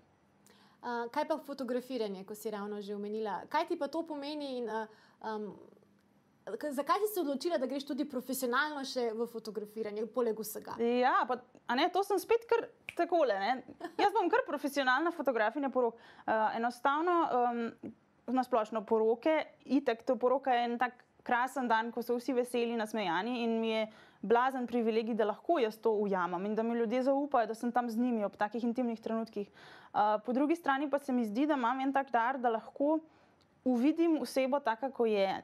Se pravi, nek, mogoče njeno notranjost in da znam iz nje privabiti skozi neko čisto, tako spontano, prijetno druženje, en tak prisrčen izraz nje same ali pa para, ki ga fotografiram, ali pa družine. Se pravi, da so res taki mm, pristni, veseli, taki kot oni so in, in to se potem pozna na fotografijah. In to je potem tista do- dodatna vrednost, recimo temu. Um, pa če zdaj le kakšen gledalec, gledalka gleda in si misli, pa kako ona to kar začuti, kaj lahko, pa kako bi lahko mi, kako bi lahko jaz uh, bolj začutil ta svoj klic, kaj bi svetovala? Uh, definitivno, čim manj tega um, trušča vseh naprav, s tem se tudi jaz sama uh, spopadam, a ne neke te odvisnosti od, in od telefona, televizije. Uh, se mi zdi, da čim več ali, ali neke meditacije, neka duhovna praksa, ali da greš sam na sprehod, da ne kličeš takrat nikogar, vse zdaj tako moramo iti, načeloma sami, tako da izvrstno. Uh, ampak ja, meni je tudi pomagalo skozi to letošnje leto, ko sem se res odločala, kaj bom naredila s svojo življenjsko potjo. Mm, da, si, da sem si prav pisala, kakšen, prav vsak večer, kakšen bi bil moj idealen delovni ali pa navaden življenjski dan. Mm. Počnem to in to, počnem to in to, in, in na začetku navedeš milijon stvari, ali pa mogoče nekdo jih ne bo še nič, ampak potem se to kar samo začne izčiščevati. Kaj pa kot pedagoginja, kaj bi morda svetovala uh, staršem, ne? kako naj postopajo z otroki, da bodo otroci uh, znali to prepoznati v sebi in da jih ne bojo preveč zatrli, kot marsikdaj uh, ne vede in Ja. ja. te starši, starši naredijo. Ja, um, to se dogaja, ne? zato ker itek hočejo samo najboljše svojim otrokom. In vsi ti nasveti so mogoče rajene tega. So res samo iz, iz ljubezni njihove, ne? ampak čim bolj jih, jim prepuščati, da sledijo res, eh, da če rečejo, jaz bi pa rad eh, šival, jaz bi pa rad eh, na vrtu delal ali pa bi bil smetar, brez enih obsodb, ampak da rečeš, a res, wow, kaj pa te tukaj tako veseli? In da, ja, da starši morajo povzdigniti interese otroka in mu pomagati, jim pomagati na njihovi življenjski poti. Da, v bistvu, da, da jim dajo neko to samozavest, ne, da, Ja, ja, da potrdi- verjamejo v in potrditev, da, ja, da so na pravi poti in da itak v življenju vedno šteje tisto, kar imaš v sebi. In, in če to dobiš od, že od malega, wow, kakšen blagoslov potem za odraslo življenje. za odraslo življenje. Ja. Drugače si se pa lotila tudi, oziroma so te povabili k sodelovanju in si to uh, poprijela. Večkrat koreografiraš tudi za zbore. Ja. Uh, ka, ka- kakšna je pa to izkušnja? Ne? Ker uh, zborovsko petje, ne, večina to misli, da stojimo, pojemo in tudi tja pridejo pevci, ki morda niso izkušeni plesalci, nimajo stika s plesom. Uh, kakšna je to izkušnja, kako pristopiš? V bistvu je to za me super, ker lahko združujem svoje znanje, kako poučevati ples, in pa potem svoje znanje petja. In načeloma so me do sedaj vedno povabili zbori, ki so želeli nekaj več, se pravi, ne klasičnega petja in nastopanja, ampak dejansko nastopanja kot, kot show choir. Se pravi, kot da naredijo nek, nek spektakel ali bo to v nekem musical svi- smislu ali tako naprej. Tako da mi je super, ker lahko jim tudi uh, nekako pevsko pokažem, kako bi pa jaz to naredila, kako pa dajmo to. In malim sugeriram tudi pri kostumih, in za me je to idealno. In s katerimi zbori, naprimer, si sodelovala, Um, da si gledalci malo predstavljali? Z različnimi zbori, predvsem iz Škofijske, iz, oziroma iz Zavoda svetega Stanislava. Tam sem lani postavljala tudi eh, en otroški muzikal, spevo igro Kresniček, ki pa potem eh, žal ni bila uprizorjena. Kjer vemo, smo, zaradi- kjer Tako, smo. Ja. Ampak Še upam, bo, da bo. ne? Tako. Še bo. Ja. Um, kaj bi pa morda um, svetovala ljudem v teh časih? Tudi ti si ravno zdaj, ko so ti, recimo, temu posebni časi, uh, si se. Si, Recimo, postila temu varno službo, si šla na, na samostojno pot. Uh, kaj bi svetovala, kako handlati um, takšne situacije, ko pridejo in kako, se, kako najlažje to handlati? Aha, meni najbolj pomaga vsakodnevna hvaležnost za vse, kar že imam. Ne? In da se res ukvarjam s tem, kar imam in s tem, kar lahko naredim, kaj lahko naredim v danem v trenutku, v dani situaciji. Ne, da se obremenjuješ, tega ne morem, tega ne morem, ne, ker te to tam samo ponese navzdol. Dajmo se dvigovati, obstaja že milijon načinov, kako si lahko pomagamo. In uh, enega od teh milijonov načinov uh, zagotovo lahko vsak poprime. Ja, ja, vsekakor. Muzikalci. Dajmo še, dajmo še malo muzikalcih, zato ker to je morda ne vem, če so čisto razumeli naši gledalci in gledalke. Uh, to je ena skupina, ki smo jo ustanovili. Uh, v bistvu, ne, Tanja, ti si gost, ti pove, kdo so muzikalci, kako so nastali in uh, kje nas lahko spremljajo. No? Muzikalci smo skupina osmih prijateljev in ekstremnih fanov muzikla. Um, in smo skupaj, smo že dve leti, po mojem. Ja, ja, od 2018. Poznamo se itak že dlje, ampak kar, kar se tiče našega skupnega nastopanja. In um, v bistvu ja, nastopamo na različnih odrih, uh, prirejamo lastne koncerte, najemajo nas za vodenje prireditev, oziroma da njihove prireditve obarvamo z našimi točkami. Um, najdete nas na Facebooku, na YouTubu, uh, morda celo letos pripravljamo nekaj novega. Pomežik. um, tako, no, in se veselimo, ko bomo spet lahko skupaj nastopali. Drugače si pa lahko pogledate, tudi med karanteno smo, smo bili eni izmed tistih, ki smo naredili ta um, karantenski video spot, ja, kako bi temu rekli. Video spot v okvirčkih. Video spot v okvirčkih, Ja. uh, ljubezni čas. Uh, tule pa zdaj lahko gledamo tudi uh, Tanjo in, na, točki kabare. Um, kje vse si se Tanja ti izobraževala za muzikale, ker v resnici težko se je.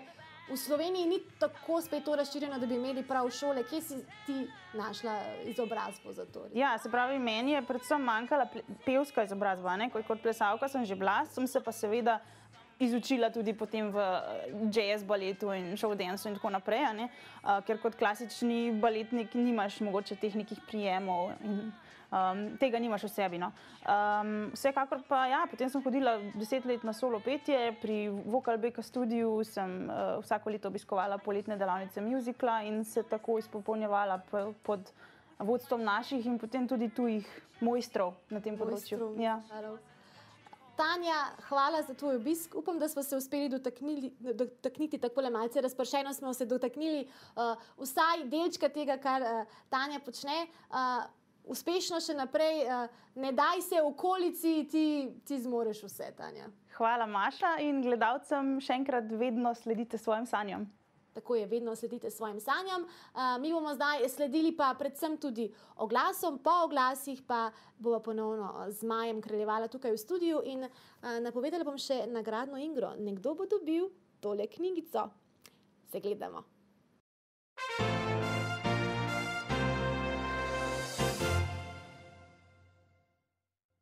Knjigane so znova odprte.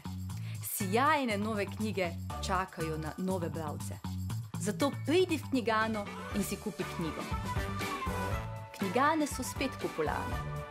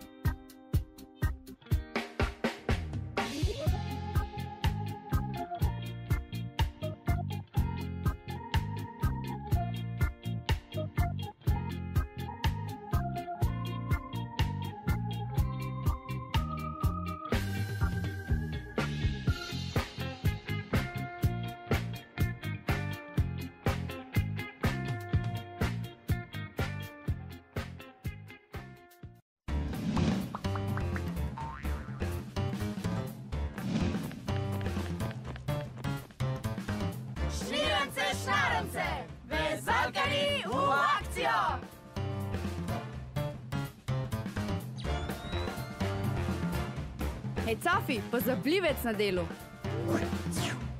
Uf, 28 stopinj, pa pa tega zebe, a boš ki skuhu ali speku ali kva.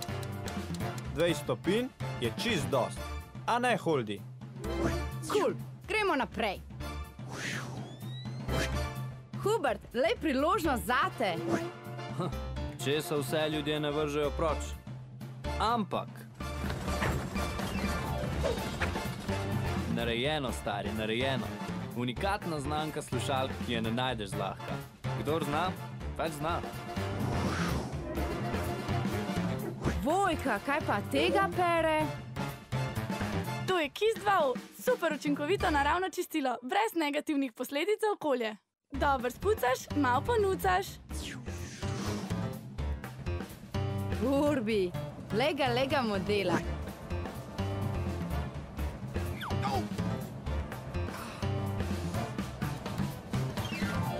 Se z busom fura. Sam ne folk ukvarja žura. Zivi čakajo, vsako dejanje šteje. Pridruži se nam tudi ti, vezalka si, za seboj puščaj odgovorne stopinje. Šmirance, šarance, vezalkari v akcijo!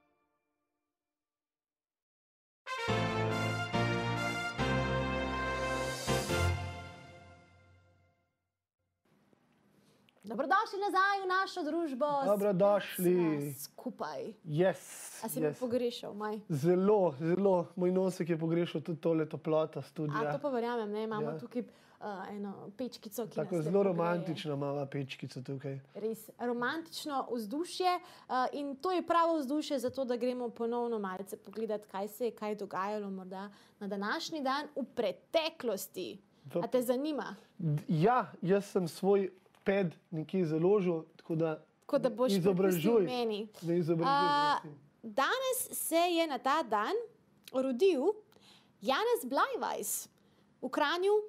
Leta 1808, on je pa seveda slovenski veterinar, publicist in politik. Na Dunaju je študiral medicino in po preselitvi v Ljubljano postal veterinar. Deloval je tudi kot politik, ne zanimivo, veterinar, politik, zanimiva Ja, kombinacija. ja, ja. Kdo bi si mislil? Res je, ja. Izdal je prvi slovenski časopis Kmetijske in rokodelske novice. Za pisavo je on uveljavil sicer gajico, zaslužen pa je tudi za obrambo slovenskega jezika pred ilirizmom. Se pravi, uh, je tudi branitelj slovenskega jezika. Kaj pa je to ilirizem? Po mojem, to ta čas uh, ilirskih eh, provinc, ne? A, ili, aha, aha, Ilirizem. ja, ja. ko je bila mogo, mogoče malce bolj Francosko, ne. francoščina ali pa kaj pop popularnega. Itak so skoraj vsi želeli zatreti slovenski jezik, ne? Ja. Ko nismo imeli Ve- lastne oblasti. Veliko se jih je najdel. Veliko se Tudi iz notranjosti, ne se pravi.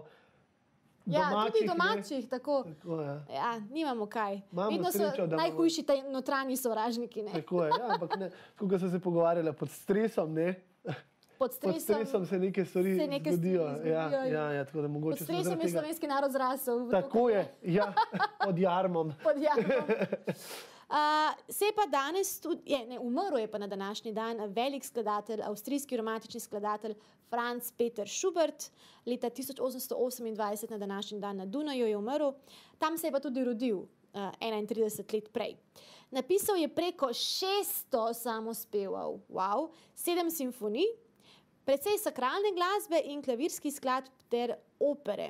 Večino glasbe, med njimi tudi nedokončano simfonijo, ki je bila založena pri bratu, so objavili šele po skladateljevi smrti. Ne? Večino Ampak glasbe. si rekel, da je 31 let bil star, Ja, mlad je bil. pa je, to, ki je že naredil. Noro. A Ja? Moram zdaj, jaz v roku enega leta še ne šest Ja, skladb eno še, vse to gre. Eno, Ja. Glede na to, koliko bereš, malce manj boš bral, pa boš malce več pisal, pa bo. Ja, Zdaj bom začel ob treh zbujati. Noro, 31 let, pa, pa če, če pomislimo, ne, ne, ni celo življenje moral ustvarjati. Ne? Ko, Ja. ko se je rodil, nekaj časa ni ustvarjal. Ja, ja. Se pravi, tukaj je gospa Aleksandra rekla, da to ni stvar, ki bi jo lahko, tudi če si virtuoz, delal že zelo, zelo mlad. Ne. Ne, ne gre. to, je, to je tisti del poleg talenta. ja, Če je še obrtniški del poleg talenta. Ja, če hočeš kaj obesediti oziroma ustvariti. Noro. Še ena uh, velika osebnost, velika ženska se je rodila na današnji dan in sicer leta 1917 v Alabahadu. To je indijska političarka Indira Gandhi, ki pa ni bila v sorodju ne, z Mahatma Gandhijem. Marsikdo misli, Mislim, da je "A, bila hladna sestrična. Hladna, sestrična, zelo hladna. Ja. Um, je, ona je študirala na več univerzah, tudi na Oxfordu, ne, na prestižni britanski univerzi Oxford, Oxford. Z možem Ferozom Gandhijem je imela dva sinova, bila je pa prva ženska predsednica države. Na tem mestu je nasledila zanimivo svojega očeta, Javahalala Nehruju, in bila je tudi premijerka Indije kasneje V Indiji, ne? v Indiji. Da v Indiji so imeli že tak, tako daleč nazaj žensko predsednico, žensko vodjo. Zanimivo. Ne? Nekako ne povežeš tega, ne? Ne, ne Se bi ne, se ne zdi, ne, ker da- imamo za marsikaj, marsikdaj mislimo, da je to bolj nazadnjaška Ja, država. mislim, z ženskami je ne, veste, te, te zlorabe in to, kako se obnaša, zaradi tega bi mogoče povezal, da ni, da ni Ampak ne, napredno bilo. Ne? drugi obraz Indije. Ne? Ja, ja, ja Tudi dober, dober vzor za vse nas. bili- Ja, dober vzor za vseh nas. Pa smo imeli predsednice, pa tudi ne. Še ne, ja. ne vem, če je veliko držav na svetu imel žensko predsednico. Zdaj ne par vem, oziroma sem skoraj prepričan. Ne. No, pa daj, povej, pa lahko si zdaj tako. Vem, da zdaj. Ne, za premjerke, premjerke pa vemo, ne, od železne lady do O, ja, že. Islandije. in Prav ta železna lady, uf, je bila opasna. Ja, ja, ja. Vem pa, drugače je danes, uh, moj, tudi moj dan po, drugi, po eni strani, ker je svetovni dan filozofije. Ja, res je. To je tvoj, Ja. ti rad filozofiraš. Rad filozofiram. No? Ja? Tako, po, če rečemo pogovorno, filozofiram. ne. Kaj to pomeni? Tako kot mi dva zdaj le filozofiramo. Aha, aha, aha. Ja. Uh, ja, UNESCO je razglasil današnji dan uh, za svetovni dan filozofije in to od leta 2005. Je pa filozofija uvrščena med najpomembnejše prioritete UNESCO v okviru razvijanja dialoga med civilizacijami, kulturami, kulture miru ter tudi promocije človekovih pravic. Ne. Ker če se tako filozofsko pogovarjamo, smo lahko precej bolj strpni drug do drugega in tudi do, do različnih kultur in do Ja, drugače ja. mislečih. Ne. Filozofi ponovadi so ljudje, ki, da, ki um, sprejemajo tuja mnenja in jih uh, potem premeljajo in znajo kaj tudi prevzeti na sebe. Ne. To je, to je taka kvaliteta, ki se mi zdi, da zdaj kar mal manjka Ja. človeštvu. Ne, da poslušaš vsem- so človeka in rečeš, hm, mogoče pa nekaj je na tem, ne, tako kot Mhm. so stari Grki filozofirali, ne, Sokrat, uh, Epiktitus in podobni. Ne, uh, uh, so, je bilo to zaradi tega, da si slišal. Ne, Ne, človeka, ne zato, da si povedal, Ja, imamo precej ja. danes. O, bolj seveda, to- da si povedal, ljudje smo vse ljudje. Eno z drugim. ja, ja, ja, ja. Drugače pa um, letošnje leto je eh, Svetovni dan filozofije, neka tema je umetna inteligenca. Tako da mogoče lahko zdaj le še Tino vključiva v pogovor, Ja. pa se malce pomenimo, kaj pa mi mislimo o umetni inteligenci in ali se je kaj bojimo. Tada, Tina. No. Um, ja, jaz moram reči, da mi ni tako prijetna ta umetna inteligenca, ker ne želim, da spet tako zamenjamo ljudi za robote oziroma nekaj takega. Pa mislite, da je to možno sploh, da bodo dejansko daj lahko roboti popolnoma zamenjali? Ja, jaz sem gledal enkrat en dokumentarc, Ne ne, ko so uh, dokumentarci bili o tem, kako so roboti. Zaz... A ja, ne, to je bil film. Ja. A, dobro, dobro. ne, um, uh, lahko bi pa pogledali na drugačen način. Ne? Da, pogledamo pa na to, da bodo roboti delali stvari in bomo mi imeli več časa za filozofirati. To že, to že, to, je, to, to verjamem in to super. Ampak mislite, da bi se dalo narediti robota, ki bi tako ujel človeško zavest, da bi lahko sam filozofiral, da bi lahko robot dejansko bil kot človek? Jaz mislim, da to bi lahko, ampak sigurno pa ne moramo zamenjati vzgojiteljic za robote. Vse drugo, ja. Filozofija, drugo, zdravniki, ja, vse ja, ampak Zdravnik, ja, veš, za zdravnika ne rabiš neki pulene ljubezni in objemov in nasmehov. Pa recimo, recimo da fino. vprašam, mislite, da bi lahko ustvarjali umetno inteligenco, ki bi napisala sonato? Svojo, originalno, ne? Ki bi to je imela drugače od inteligence, ne? izražanje, to ja. je čustvena inteligenca. Uh, To je eh, literarna inteligenca. tudi. Ja. Saj Ja, to- ta bi Tukaj bila se mi zdi, da je, da je težko, da se ne, zelo težko, da bi se zgodil, ker to je tisti uh, majhen ogenček človeštva. Ne? Ja, to, kaj je sploh tisto, kar človeka naredi človeka, ne? kar nas dela ljudi in kar nas na vse zadnje bi ločilo od umetne inteligence, ne glede na to, koliko bi bila razvita. Ne? Hm. Kako Verjetno neka duša ali pa duša. Ja. Esenca. Esenca. Se pravi, ta naša intuicija, ker namreč kako bo imela umetna en robot intuicijo. A veste, kaj je recimo, ne? si, ne, kaj naredi naš človeka? Ro, robota si predstavljamo vsi, da bo brez napak. Ne? Ali pa če bo naredil napako, se bo resetiral. Človek se lahko pa iz svojih napak uči. Pa tudi se v bistvu se zdaj umetna inteligenca že tudi lahko Tudi lahko. uči iz napak. Ja. V bistvu oni delajo, mislim, vse glih to, ne, te, te strojne, te uh, intelektualne zadeve, umetna inteligenca že dosti dobro napreduje. Mm. Me res zanima, kaj je tisto, potem, ne, kar, kar nas bo ločilo, ne glede na to, koliko bodo, bodo razviti ti sistemi, ker tudi ume- umetna inteligenca se že uči na lastnih napakah. Se že sama lahko uči, uh, od Mhm. sebe ni treba jo več, uh, pač ti jo spro- sprogramiraš, da se uči, potem se pa sama razvija naprej, ni treba vsak program na novo vnašati. Uh, ampak ja, Da je pa inovativna, to me, to me Ja. zanima. Lahko, ali, bo, ja, ali, ali ima to neko iskrico, oziroma tukaj bomo zdaj morda lahko videli, če, če je v, v človeku res nekaj božanskega, oziroma če je nekaj na tem, ali Ja. smo v resnici tudi mi samo dobro narejene mašine. Ne? Ja. Mi vsi smo eni roboti, v bistvu. Mi smo, Ja. ja. Sej, na nek način smo, ne? tudi ljudje Ja, delujemo več smo ali manj po programirani. programih. Ne? Ki so nam jih unesli. Nekateri programi so že genetski, ne smo jih že prinesli v DNK-ju na ta Ja. ja. svet. Nekatere so nam na, družba in starši skozi odraščanje Tako. usadili, nekatere pa še zdaj sprejemamo iz povsotne. Tako, nekateri so pa še iz prejšnjih reinkarnacij. Prej, Evo, Beni je na to rekel, kar da, da gremo v oglasenje, zdaj ja, smo pa že to ve. mejo. smo preveč za- zabredli v Preveč svetovni dan filozofije. Ampak to je bil naš doprinos k svetovnemu dnevu filozofije. Hvala vam za ta doprinos. Hvala vama. Hvala vama. Po, po, po oglasih pa malce več eh, konkretnega, malo manj filozofiranja, malo več konkretnih dejstev. Izvedeli bomo še zadnje informacije o prometu in kaj bo z vremenom. a ne, Tina? Tako, tako. In se gledamo. Se gledamo. Gledamo.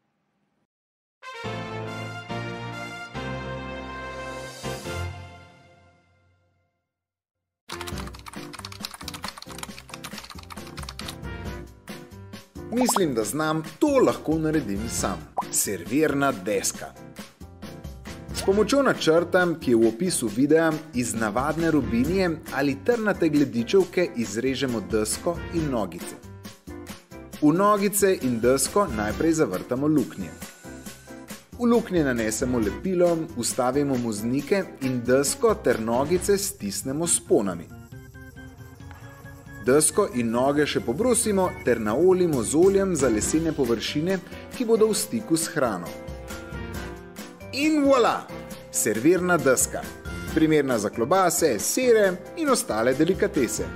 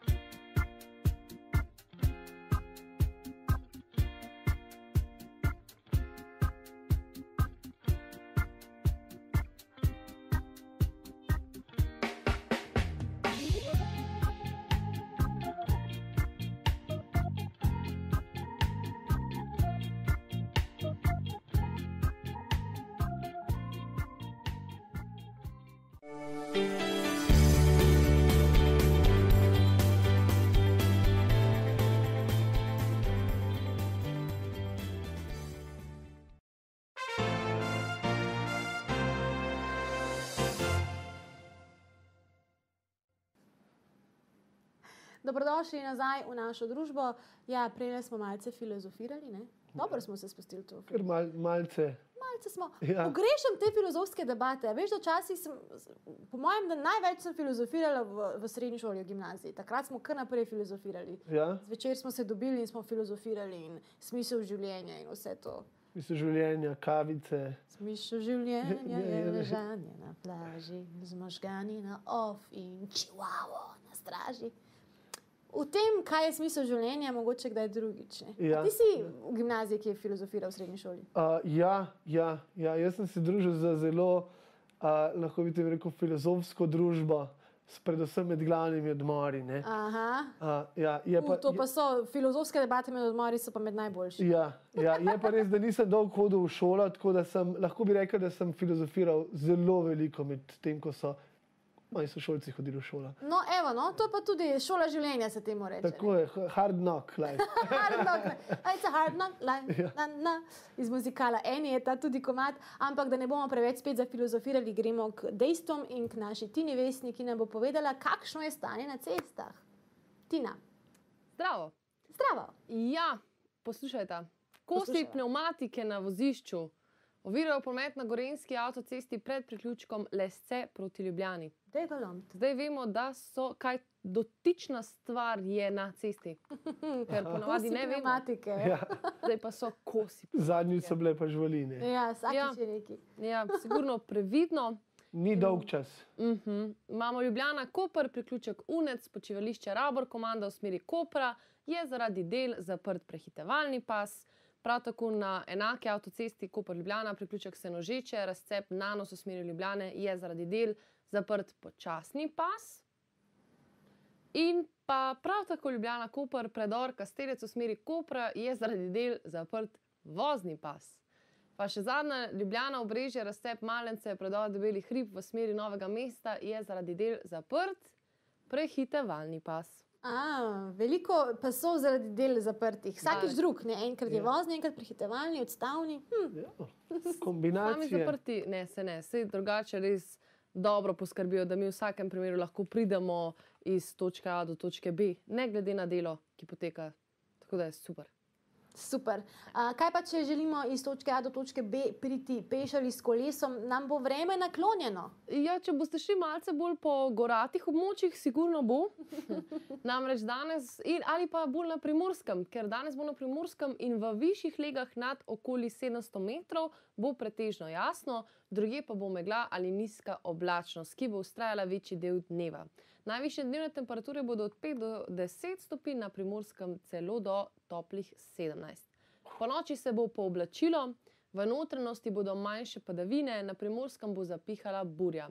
Najnižje jutranje temperature bodo od 1 do 6 stopinj, na primorskem okoli 9. Jutri bo na primorskem delno jasno, pihala bo zmerna do, do močna burja. Drugod bo pretežno oblačno, dopoledne bo občasno še rahlo deževalo. Popoldne se bo od severozahoda pričelo jasniti, pihal bo severovzhodni veter. Najvišje dnevne temperature bodo od 4 do 9 stopinj, na primorskem do 14. In še obeti, v soboto in nedeljo bo pretežno jasno. V soboto bo še pihal severozahodni veter, na primorskem zmerna burja, ki bo popoldne oslabela. Kot vidimo na Hm, na ekranu za menoj bodo temperature kar prijetne, že skoraj da zimske, od minus 1 do čez dan 6 stopinj in od, v nedeljo od 4 oziroma minus 4 do 6. Ja, Pa je prišel čas za minus. Ja, se končno pri, približuje je zima. čas. Ja. Že Stari Prišel dobri prišel, prišel Ne, to pa prišel. ni prišel čas, to pa je, oj, že prišel je med nas. Okay. Sam to pa še ni, za detka mraza pa res še ni, to pa Pa tam okoli želim novega že. leta. Maša zdaj le govori, prej pa je povedala mi zjutraj, ko je prišla, je povedala, da je že, a, že začutila božični duh. Tako Ja, že po poti si pela pesmi.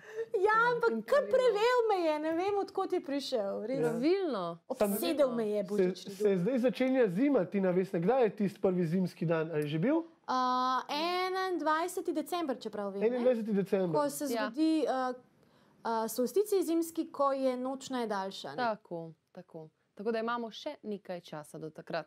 Zdaj bomo še rekli, da so, da so jesenske temperature, čeprav si mečemo pesek v oči, ker, ker so že kar, kar zimske. Ja. Ampak super, tako kot si rekel, maj zjutraj, ko si me razveselil, da v bistvu je to čas zimske kolekcije in zimskih oblačil in se lahko veselimo zime, tudi če je mraz. Evo, Ja, Evo, ne ja. si dal Tini razlog za veselje. Je, pa tudi sebi, veš, to sem jaz eh, za sebe rekel, zato ker zdaj bom lahko tiste velike jakne Tako, z velikimi z ovratniki in šal na mesto maske. No, da. Ja. Maj drugače, glede na to, da ti je ime maj, a je maj tvoj najljubši mesec, vedno čakaš na maj ali si poješ. Moj Ne čakaj, pa mladi. Ja. Čakaj, na Tele, tele štose na svoje ime, pa rad rečem, ki mi bo povedal nekaj stara, novega po ne? 30 letih, ga Si častim večerjo. Nekaj Ne. novega. Tako Da, a, ne, najljubši mesec je april. Oh. April, april in ko začne diš, dišati po pomladi. No. Mm. Tako, to, je, to je tisto prebujanje a, in čas, ko se ti zdi, da je prav vse mogoče. Wow. Wow. To, to je res, to je res. Pomladi ja. je prav res. Ja, dobiš ta, zagon. Ta zagon ja, ja, prebujanje narave, naravni cikl. Ne? Ja. Ja. Znaš prav, dobro, dobro, dobro. Mm, dobra, dobra izbira. Ne? Ja, redko kdo bi rekel. Oh. Ne rabim najdebelejše bunde obleči, tudi če je dež, ker vem, bom prišel domov in se bom posušil in bo vse v redu. Ne? Ja. Odlično. No, pa da ne bomo preveč zavlekli tole vreme, ki ni aprilsko, ampak je novembrsko. Hvala, Tina, Vesna, za vse informacije, ki ste nam jih podala čez celotno oddajo. Malenkost, hvala vam za družbo in za odlično vodenje vdaje z vrhunskimi gosti. Ja, pestro je bilo danes. Danes je, bili, ja, danes je bila oddaja definitivno prekratka. Za, za Ja. Ja, Ja. ste videli, da Jaz se vam tudi zahvaljujem, punce. No, smo, zdaj smo že drugič, meni se zdi, trio. Ne? Ja, mi trije smo bili. Samo da so se mi, da si novesno zamenjala. Tako je. V glavnem uživamo v vajni družbi, no, upam, da, bomo, da bo ta trio Ja, še kaj sodeloval. Ja, hvala, Več. enako. Tina, bomo uživali še kdaj drugič. Uživaj ti v dnevu še naprej. Tako, vse gledamo. gledamo. Vse gledamo. Ja, mi bomo pa tudi počasi zaključila, ne? To Ja? oddajo. Ja? Jaz sem se imela prav fino maj s tabo Jaz enako, s tabo in z gosti današnjimi. in z gosti, ki so bili Ja. zelo zanimivi. A ja, seveda, ne. Ne bova, da, skoraj sem pozabila, da imamo nagradno igro. Se pravi, Tanja Pečenko je prinesla nam udar, eno, en izvod svoje knjigice Male baletke in njihove cvetke. Um, nagradno vprašanje se glasi, komu je Tanja tole knjigico posvetila in če ste gledali um, našo oddajo, boste seveda uh, lahko to I- boste to vedeli. Ja. Ja. Če pa slučajno ste zamudili, pa smo tako ali tako na YouTubu in boste lahko pogledali si za nazaj. A, Naša Tina Vesna bo tole nagradno vprašanje dala na Facebook in pod Facebook lahko komentirate s pravilnimi odgovori in nekoga bomo izžrebali. Ta nekdo, ta srečnež bo pa dobil tole izredno lepo in prikupno knjigico Male baletke in njihove cvetke. Takole. Super. To bom pa še jaz pogledal, pa odgovoril. A boš se boš Ja, dam potegoval? svoj zbor knjig. Ne? A ja, seveda, ti, ki imaš tako rad knjige. Boš zdaj po koncu oddaje še v brat, Uh, uh, ja, ja, ja, definitivno. potem pa najbolje, da kar čim prej zaključimo. Uh, drage gledalke in gledalci, upajmo tudi, da boste tudi vi uh, lepo preživeli dan s knjigo v roki ali pa kje v hribih, kjer je sonce. Ali pa ob morju. ali pa ob morju, če ste seveda tam. Uh, hvala vam za vašo družbo, za vašo pozornost. Gledamo se ponovno jutri od 8 do 11 ure. Naj vas pa še opozorim, da danes ob 17. je premjerno tudi oddaja Stanjo Skaza, vse se da. Res vse se da Vse in, se zmore. in vse se zmore in se gledamo. Se gledamo.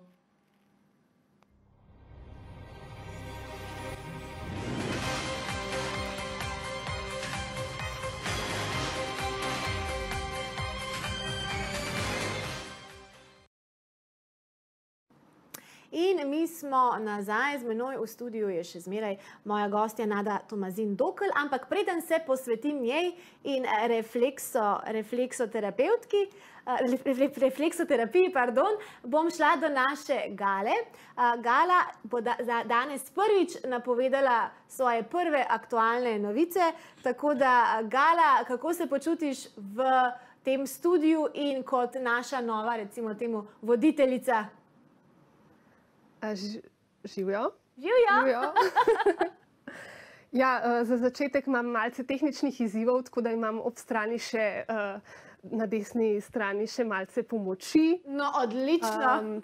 zdaj nisem čisto prepričana, če sem ujela, poleg tistega dneva cenjenja um, črnih Tako, je ja. danes v bistvu 17. avgust tudi dan združitve prekmurskih slovencev z matičnim narodom. In ob današnjem prazniku, ki sicer ni dela prost dan, bo mestna občina Ljubljana ob 18. uri na prekmurskem trgu odprla spomenik, posvečen stoti obletnici priključitve Prekmurja in združitve prekmurskih slovencev z matičnim narodom. Avtor spomenika je pa akademski kipar Zoran Srdič Janežič. Lepo vabljeni. A, odlično, to je torej tisto, uh, ko je prej govoril Luka, da bo zaprta cesta med 18 in 19 Tako, uro. tako, tako, tako. ja. Se pravi, vsi pogledati ta novi uh, spomenik, ki obeležuje današnji posebni dan. Ja, res je. Ja, Gala, hvala za tole hitro, sladko uh, novičko. Super ti je šlo za prvič in se bova gledali prav kmalo spet. Ne? Ja, super, se vidimo, gledamo. gledamo se. Tole je bila uh, gala, naša gala, naša nova gala z hitro, kratko, sladko novičko. Mi pa gremo nazaj k refleksoterapiji in k Nadi Tomazin Dokal, ki je z menoj v studiu. Lepo pozdravljeni ponovno. Nekaj sva že povedali, ne? Uh, veliko pa še ne. Uh, morda, če začneva tale blok uh, s tem, da mi poveste, kako pa izgleda obisk pri refleksoterapeutu, kakšen je postopek, ko se nekdo odloči priti na uh, terapijo. Ja, najprej se seveda je treba dogovoriti za termin. Uh Mhm. -huh. Mi imamo tako, da se lahko naročijo po telefonu. Uh, Mi damo termin prost, a ne, in takrat tisto uro, zdaj so to malce bolj strogi ukrepi, a ne, glede na to, da, Vse je drugače da imamo taka navodila. Ne, um, pride in potem eh, mal, da se ta zadrega umakne, ne, ker marsikdo ne mara stopal kazati in uh, misli, da smrdijo, da uno tretje in potem neka mal- stigma, ja. Ja, mečken potem uh, tole premustimo s kopeljo slano, ne, tako da potem pa ga povabimo na maserno mizo uh, in uh, tako se začne. Ne. In seveda uh, obenem uh, tudi malo povprašamo za stvari, ker ni prav nič vse, koliko je človek uh, star, bom rekla, ali pa koliko ima let, potem uh, kakšne težave ima, zakaj je prišel, ne, ker moramo takoj razčistiti, da mi nimamo čarobne palčke, tudi če kjerkoli gleda metle, nimam parkirane v nobenem kotu. a Ne, tako da, Jaz sem videla, da ni, ni bilo, Ni, ne, ni ne, bilo, nisem, ne. sem prišla z avtom. Skratka, eh, in potem, da si razčistimo, ne, kaj lahko on pričakuje eh, od tega, da pač eh, to ni um, salon, eh, kjer bi recimo, ali pa delovni prostor, kjer bi ga naredili čist novega, ampak mnogim smo pa že pomagali, da so krize prebrodili. Skratka, eh, se pom- pomenimo o tem, anamnezo zapišemo, ne se pravi, kakšne težave so bile, kje so se začele, eh, kakšna zdravila je, to je tudi pomembno, ker v bistvu, ko mi spodbujamo razstrupljanje, ne, se pravzaprav hitreje izločajo stranski učinki zdravil, kar je zelo pomembno. ne. In takrat... Kontraindikacije potem lahko. Ne, v tem kontekstu ne, ker uh, mi um, nismo uh, tableta, ne, mm. ampak uh, delam, delujemo na celotno telo. ne. In seveda, ja, tako je. In seveda je zelo pomembno, da pa človek, če mu to uh, pač razložimo, uh, razume, da je pa takrat treba nekaj več spiti uh, in da tudi, če je kdaj malo temnejša voda, da ima mo- močnejši von, da to ni nekaj groznega, da to zdaj on ni zbolel, ampak da so to reakcije telesa in mi smo vedno uh, veseli, da so reakcije, ne? ker potem vemo, da je organizem sprejel to aplikacijo in da s pridom na tem dela in da se je človek tudi potrudil, da je nekaj zase naredil. Ker uh, ko pride človek kdaj ob štirih popovdne k nam, pa reče, Marja, tudi požirka vode še nisem naredil danes. A veste, pol si pa žalosten, ni mu časa za jesti, ni mu časa eh, vodo popiti, a veste, kako je to en šok za organizem. Popolnoma dehidriran, kar slab mu je ne, in najprej dobi vodo.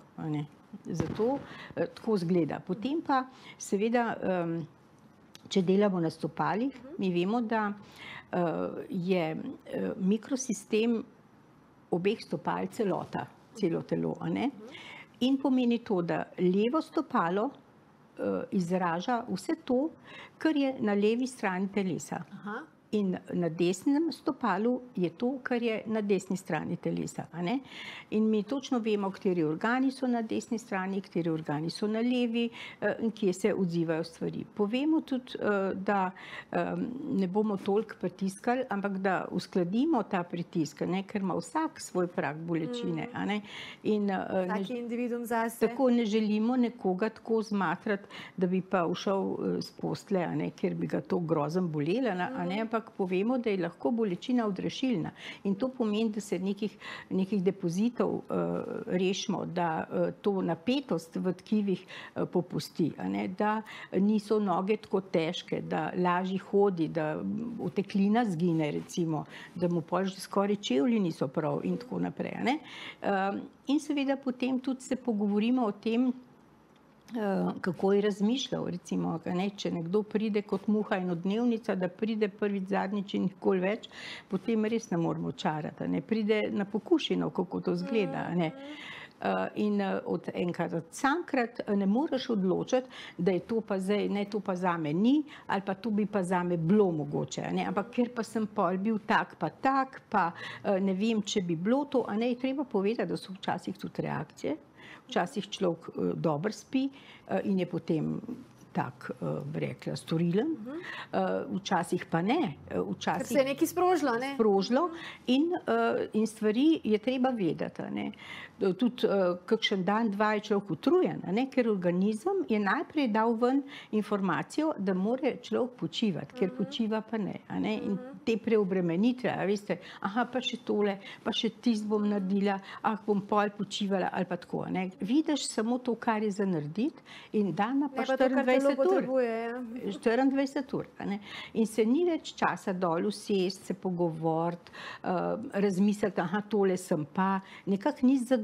Preveč si naložiš in potem te to vse čas spremlja, kaj bi še moral. In tukaj si samo še prilivaš ognja. V bistvu tudi, ko ogenj. počivamo, ne počivamo sto odstotno, ker imamo skozi v glavi, da še to. Kaj še še to, treba? še a ne. No, včasih, recimo, jaz se spomnim srednje šole, ne, to je bilo brezkrbna leta, so bila to, ne, kjer ti ni bilo treba nič razmišljati. Ne. Zdaj pa greš z mislijo, kaj mora vse biti in imaš že načrt in imaš tako.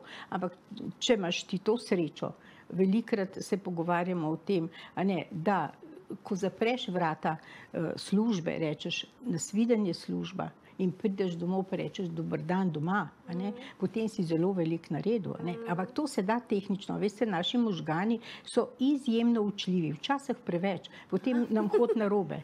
Se naučimo na robe ne? in Ja, potem ja. uh, to ponavljamo vse čas, ker so se tako Ja, naučili. in, in tako potem nalagamo te obremenitve, kar ni treba. a ne. Koliko časa pa traja refleksoterapija? Uh, refleksoterapija uh, od 45 do 60 minut, včasih, če dodamo še nadgradno, se pravi, kadar delamo živčne točke, če je recimo ne vem, uh, neka težava v križu ali pa v, v ledvenem delu ali pa v ramenskem obroču, da si potem prvošmo še izstopišča živcev delati, ki te dele uh, oživčujejo in naredimo sindrom, tako kot rečemo, ne, potem to traja nekaj dlje. Ne. Ampak, um, ampak z vedenjem od 60 do 90 minut. Ne. Tako da uh, tukaj je um, pač uh, sistem, za katerega se odločaš. Ne. In takrat, ko um, naredimo atest, naprimer, na, na nogah, da vidimo, da dobimo en vtis, kje je največ uh, problematike, pa tudi že ko noge vidimo, vidimo, kje so vtiščanci, kje je naslojena A, in to že veliko koža, pove. Veliko pove, potem kje so gube globje, mm. kako so prsti, aj halux valgus. Aj, pač to so stvari, ki nam nekako odpirajo uh, obzorje ali pa nam dajo uh, misliti, uh, v človeku, in kje so, kje so problematike. ne. No, in potem, ko vidimo stanje, ne skušamo ugotoviti, eh, koliko bi pa ta um, človek rabil, da bi nekako spravili na eno normalo. a. A koliko tretmajev? Ja, zdaj včasih so rekli 10 do 12 tf, to je bilo tako, da, so, da ustreliš. Ampak glede na to, da so tehnike zelo poglobljene, da so sistematične obdelave, da se mi lotimo recimo točno določenih eh, sistemov, ki se nanašajo na problematiko in tam poudarke delamo iz znanja ali pa ugotovitev iz atesta, ne, potem lahko recimo včasih so rekli desetkrat najmanj za uh, glavobol, ne. Ampak če delamo sistematično, je lahko po treh uh, obiskih uh, pri refleksoterapeutu že bistveno spremenjeno stanje, uh, da so glavoboli manjši, da se pojavijo kasneje, uh, da pa se tudi ugotavlja počasi, a ne, ker včasih kdo kaj spregleda, kdaj je to. Popovdne, ko si že utrujen, uh, če si lačen, uh, če si se nekaj preveč pa narobe najedu in tako naprej. Ne, to so vse te stvari, a veste, ker sebevidnost je vedno problematična. Ti sebe ne vidiš. Ne? Ja, res. Pri drugemu pa vidiš vse. Pri drugemu vidimo vse, kar je. problem. Ja. Ne, Kar ti- imam- imam- imamo sami. Ja. Ja. Do, doskrat ja, rečemo, da so drugi naše ogledalo. Ne? Tisto, kar te moti pri drugem, ali ima drugi problem. Ja. Poglej pri sebi, najbrž imaš tudi ti. Tako, no, to se izogibamo, da strokovno ne moreš tako delati. Ne? Ampak eh, velikrat stvari, recimo, pot- a ja, aha, to je to. No, pa kar je še zanimivo, naprimer, se pokažejo cone, odziv cone. Ne? Cone se na različne načine odzivajo, včasih čutiš neke, neke kristalčke spode, neke, neko napetost, neko praznino, različno, ne, in se z bolečino odziva eh, cona. Ne. Eh, In kot sem rekla, uskladimo to eh, sprejetje bolečine, ki jo lahko človek prenese in podiha, ampak nam da recimo neke smernice. In na, na ta način potem tudi mi naprimer, lahko ugotavljamo, kako depoziti se umikajo. Depoziti so naložbe nekih obremenitev, to je tako, kot če, če gledate recimo en podrt drevo, vidite letnice ne? in reče, aha, tukaj je bilo pa sušno leto, je takole letnica, tukaj pa izdatna bila voda. Ne? Tako je pa, mi tega ne vidimo, ker ne prerežemo cone. A ne, a ne, Na srečo. Mal, mal predstavljamo, kako to je. a ne.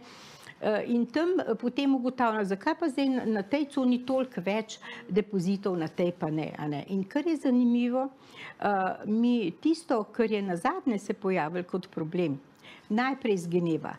In gremo tako, kot bi šli nazaj, obratni smeri. v obratni smeri. In včasih recimo vprašamo, kako pa je s tem vašim kolkam, a ne, a vas kaj kolk boli prav, ne, noč, nikoli nimam benih težav. Naslednjič pa reče, poslušajte, ja, svede, jaz sem padel in sem se takrat udaril in da, da, da in tako In naprej. v bistvu in, cel- in pokaže tudi malo zgodovine. Ja. No, mi se bova še pogovarjali po oglasih. Tako da, dragi gledalke, drage gledalke in dragi gledalci, ostanite z nami. Uh, Kasneje, med poglasi, bomo celo malce pokazali, kako si lahko sami pomagate uh, z določenimi pritiski na določena mesta na roki. Naprimer. Tako da ostanite z nami, se gledamo.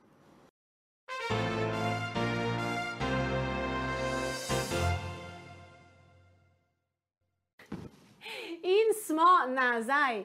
Ja, mi dve z mojo gostjo sva tudi med oglasi zapadli v pogovor. Sem se skoraj pozabila vam javiti, ne? tudi v režiji so mi skoraj pozabili javiti, da smo že na vrsti. A, tako da zdaj se bomo, spet, se bomo spet pogovarjali skupaj. Z menoj je še vedno Nada Tomazin Dokl, refleksoterapeutka. Izvedela sem, da se že 40 let ukvarja z refleksoterapijo, tako da je res pravi naslov za to vrstne pogovore. In kot smo prej ob- obljubili, bi mogoče zdaj malce pokazali, kako si lahko ljudje sami pomagamo tudi doma, sami, če imamo določene tegobe, recimo, kaj, ne, vem, če, ne, če, nam, če ne moremo spati ali pa če. če... No, za spanje je širši problem, A, je več širši. stvari. Katere stvari pa lahko sami? No, recimo za en glavobol. Naprimer, glavobol. a ne. Uh, zdaj, če lahko tako pokažem, ne, uh, takole je um, celo telo. ne. In tukaj, le, kjer se stikajo uh, z dlančnicami eh, členki uh, prstov, to je ramenski obroč. In predstavlja ta del prsti, predstavljajo vrat in pa glavo. In kadar imamo mi težave, seveda glava, če boli, potem mi eh, gledamo to tako zvano simptomatsko cono, gledamo te dele. In mi lepo uh, masiramo, tudi če takole drgnemo, nič važen, recimo, a ne, uh, refleksoterapeut že ve, kater tip uh, tehnike bo zbral, uh, kako bo začel, a ne, mi vedno od sredine navzven, pa od zgori navzdol, pa tako naprej, a ne. Ampak kadar se pa lotimo točno določenega sistema, imamo pa glede na to, kako je sistem položen na mikrosistem, a. In zdaj tukaj treba še pri dlaneh povedati, pa tudi pri stopalih, da palci sami predstavljajo mikrosistem v malem. Se pravi, se pravi, le- pal- levi palec- vse? Eh, Cela glava. A? In kadar je bolečina a ne, v glavi, mi že lahko takole si lepo podrgnemo in pritiskamo na določene cone in tam, kjer mal zaboli, mal podržimo a ne, in potem gremo naprej in takole lepo masiramo ne, uh, in si pomagamo. Pa potem še na drugo stran, ne, rečemo, ne, desna stran, desen palec, leva stran, levi palec. a Ne, in to uh, mečkam potrpežljivosti. Ne, pa Ne gre to takole, a, la, la, la, no, ne? tudi takole, če ste na sestanku, ne pa da imate napetost v glavi, ne morete noge se zud pa na nogi delati, ne, tako imate pri roki. Uh, Roko imamo vedno pri roki, tako je. Ja? ne morete doma pozabiti. Ja. Uh, tako da, a ne, takole lepo pomasiramo, seveda to so palci v malem, potem pa uh, naslednje je pa glava cela, pa takole. Ne, ima pa več možnosti, recimo, uh, prej sem rekla, da so mikrosistemi različni, imajo različne oblike in imajo različne uh, ugodnosti ali pa uh, naprimer uh, na stopalih izjemno dober lahko naredimo uh, prebavila. ker so tukaj zelo stlačena. Medtem ko glava je pa na, na dlaneh izjemno lepo izpostavljena. Imamo daljše prste, ne? Daljše prste, lažje zraven pridemo. Ne? In če takole naredimo, je to črta ust. Vidite? Aha, aha. Ne? In uh, zdaj takole, uh, tudi zobe, naprimer, imamo težave. a ne. Tako imamo enke, dvojke, trojke, štirke, petke, šestke, sedmice, osmice. Se pravi, zgornji in spodnji zob. Tako da tam seveda boli, če nas zob boli, smo vsi utečeni in nas boli tudi lesen, in nas boli živce, in nas boli vse. Se pravi, nič ne zgrešimo, če mi Če vse, vse, ja. tole pomasiramo. In kar je pomembno pri tem, je tudi to, da si ne pozabimo uh, obdelati limfe. Ne? Limfa je pa takole, če tale del, ta, Ta del pa zbiralnik- pogosto boli. Ja, to je tudi zaradi drugih stvari, ker ima točko za želodec, ker ima cel kup zadev, ampak takole lepo eh, delamo, a ne, pa takole med prsti, a ne. To so vse uh, stvari, ki dobro denajo, a ne. Eh, Sproščamo, ne? ker limfa, ta, ta tretji krvotok, ki pravzaprav je medceličnina, ki odplakuje uh, ostanke uh, produktov uh, presnove v celici. In to je zelo dobrodošlo, da mi takole naredimo. Ne pa takole še potem mečkam potegnemo, takole a ne, sprostimo, ne, pa takole otresemo. ne. Ja. Takole, zdaj, eh, ob, običajno eh, so težave tudi um, v hrbtu, recimo vrat. Ne. Če imamo tukaj črto ust, ne, se takole začne vratni del hrbtenice, potem imamo prsni del, ledveni križni in takole v tej jamici je um, trtica. In če mi tale del izdatno obdelujemo, ne, takole ga um, lahko vam pokažem. Aha. Ne, takole. Aha. mhm. No, to je ta palčni hod, kot rečemo. Ne. To pa, pa prijetno, zelo paše. Paše? Ja. ja, seveda. Vrat zmeram nastrada. Takole, a ne. In tale trtica tukaj. a Ne? In tole, kadar sedite več, in to zelo dobro dene, da si takole kdaj večkrat uh, sprostite te obhrbtenično mišiče, a ne? in vse ta del, tudi malo je treba paziti, da nismo takole. Ja, eh, malo jaz sem paziti, kako se držimo, ne, Kako ja. se držimo, pa tudi tako, da se razgibamo. Sej, uh, najbolj uh, smešen je, ker reče, joj, nobenih vaj ne, ne znam, kako bom pa zdaj se razgibaval. Oni so mi dali, uh, fizioterapeut mi je dal tele, zdravnica mi je dal tele, zdaj pa ne vem, kako bi tole. Če nič drugega, imejte v mislih, da najlepše in najboljše sproščanje zjutraj je pretegovanje. Ja. Ne? Tudi živali, že od njih se lahko učimo, se vedno Ja. po vsakem Tako. počitku pretegajo. Tako, ne? Ja. Se pravi, mi poženemo kri, uh, sklepe premigamo ne? in so pripravljeni uh, za akcijo. No, tako da recimo pri težavah s prebavili, pa če nič drugega, vi takole v smeri urinega kazalca lepo uh, masirate. Ne? Recimo pri zaprtju, recimo, ne? ali pa karkoli. a ne.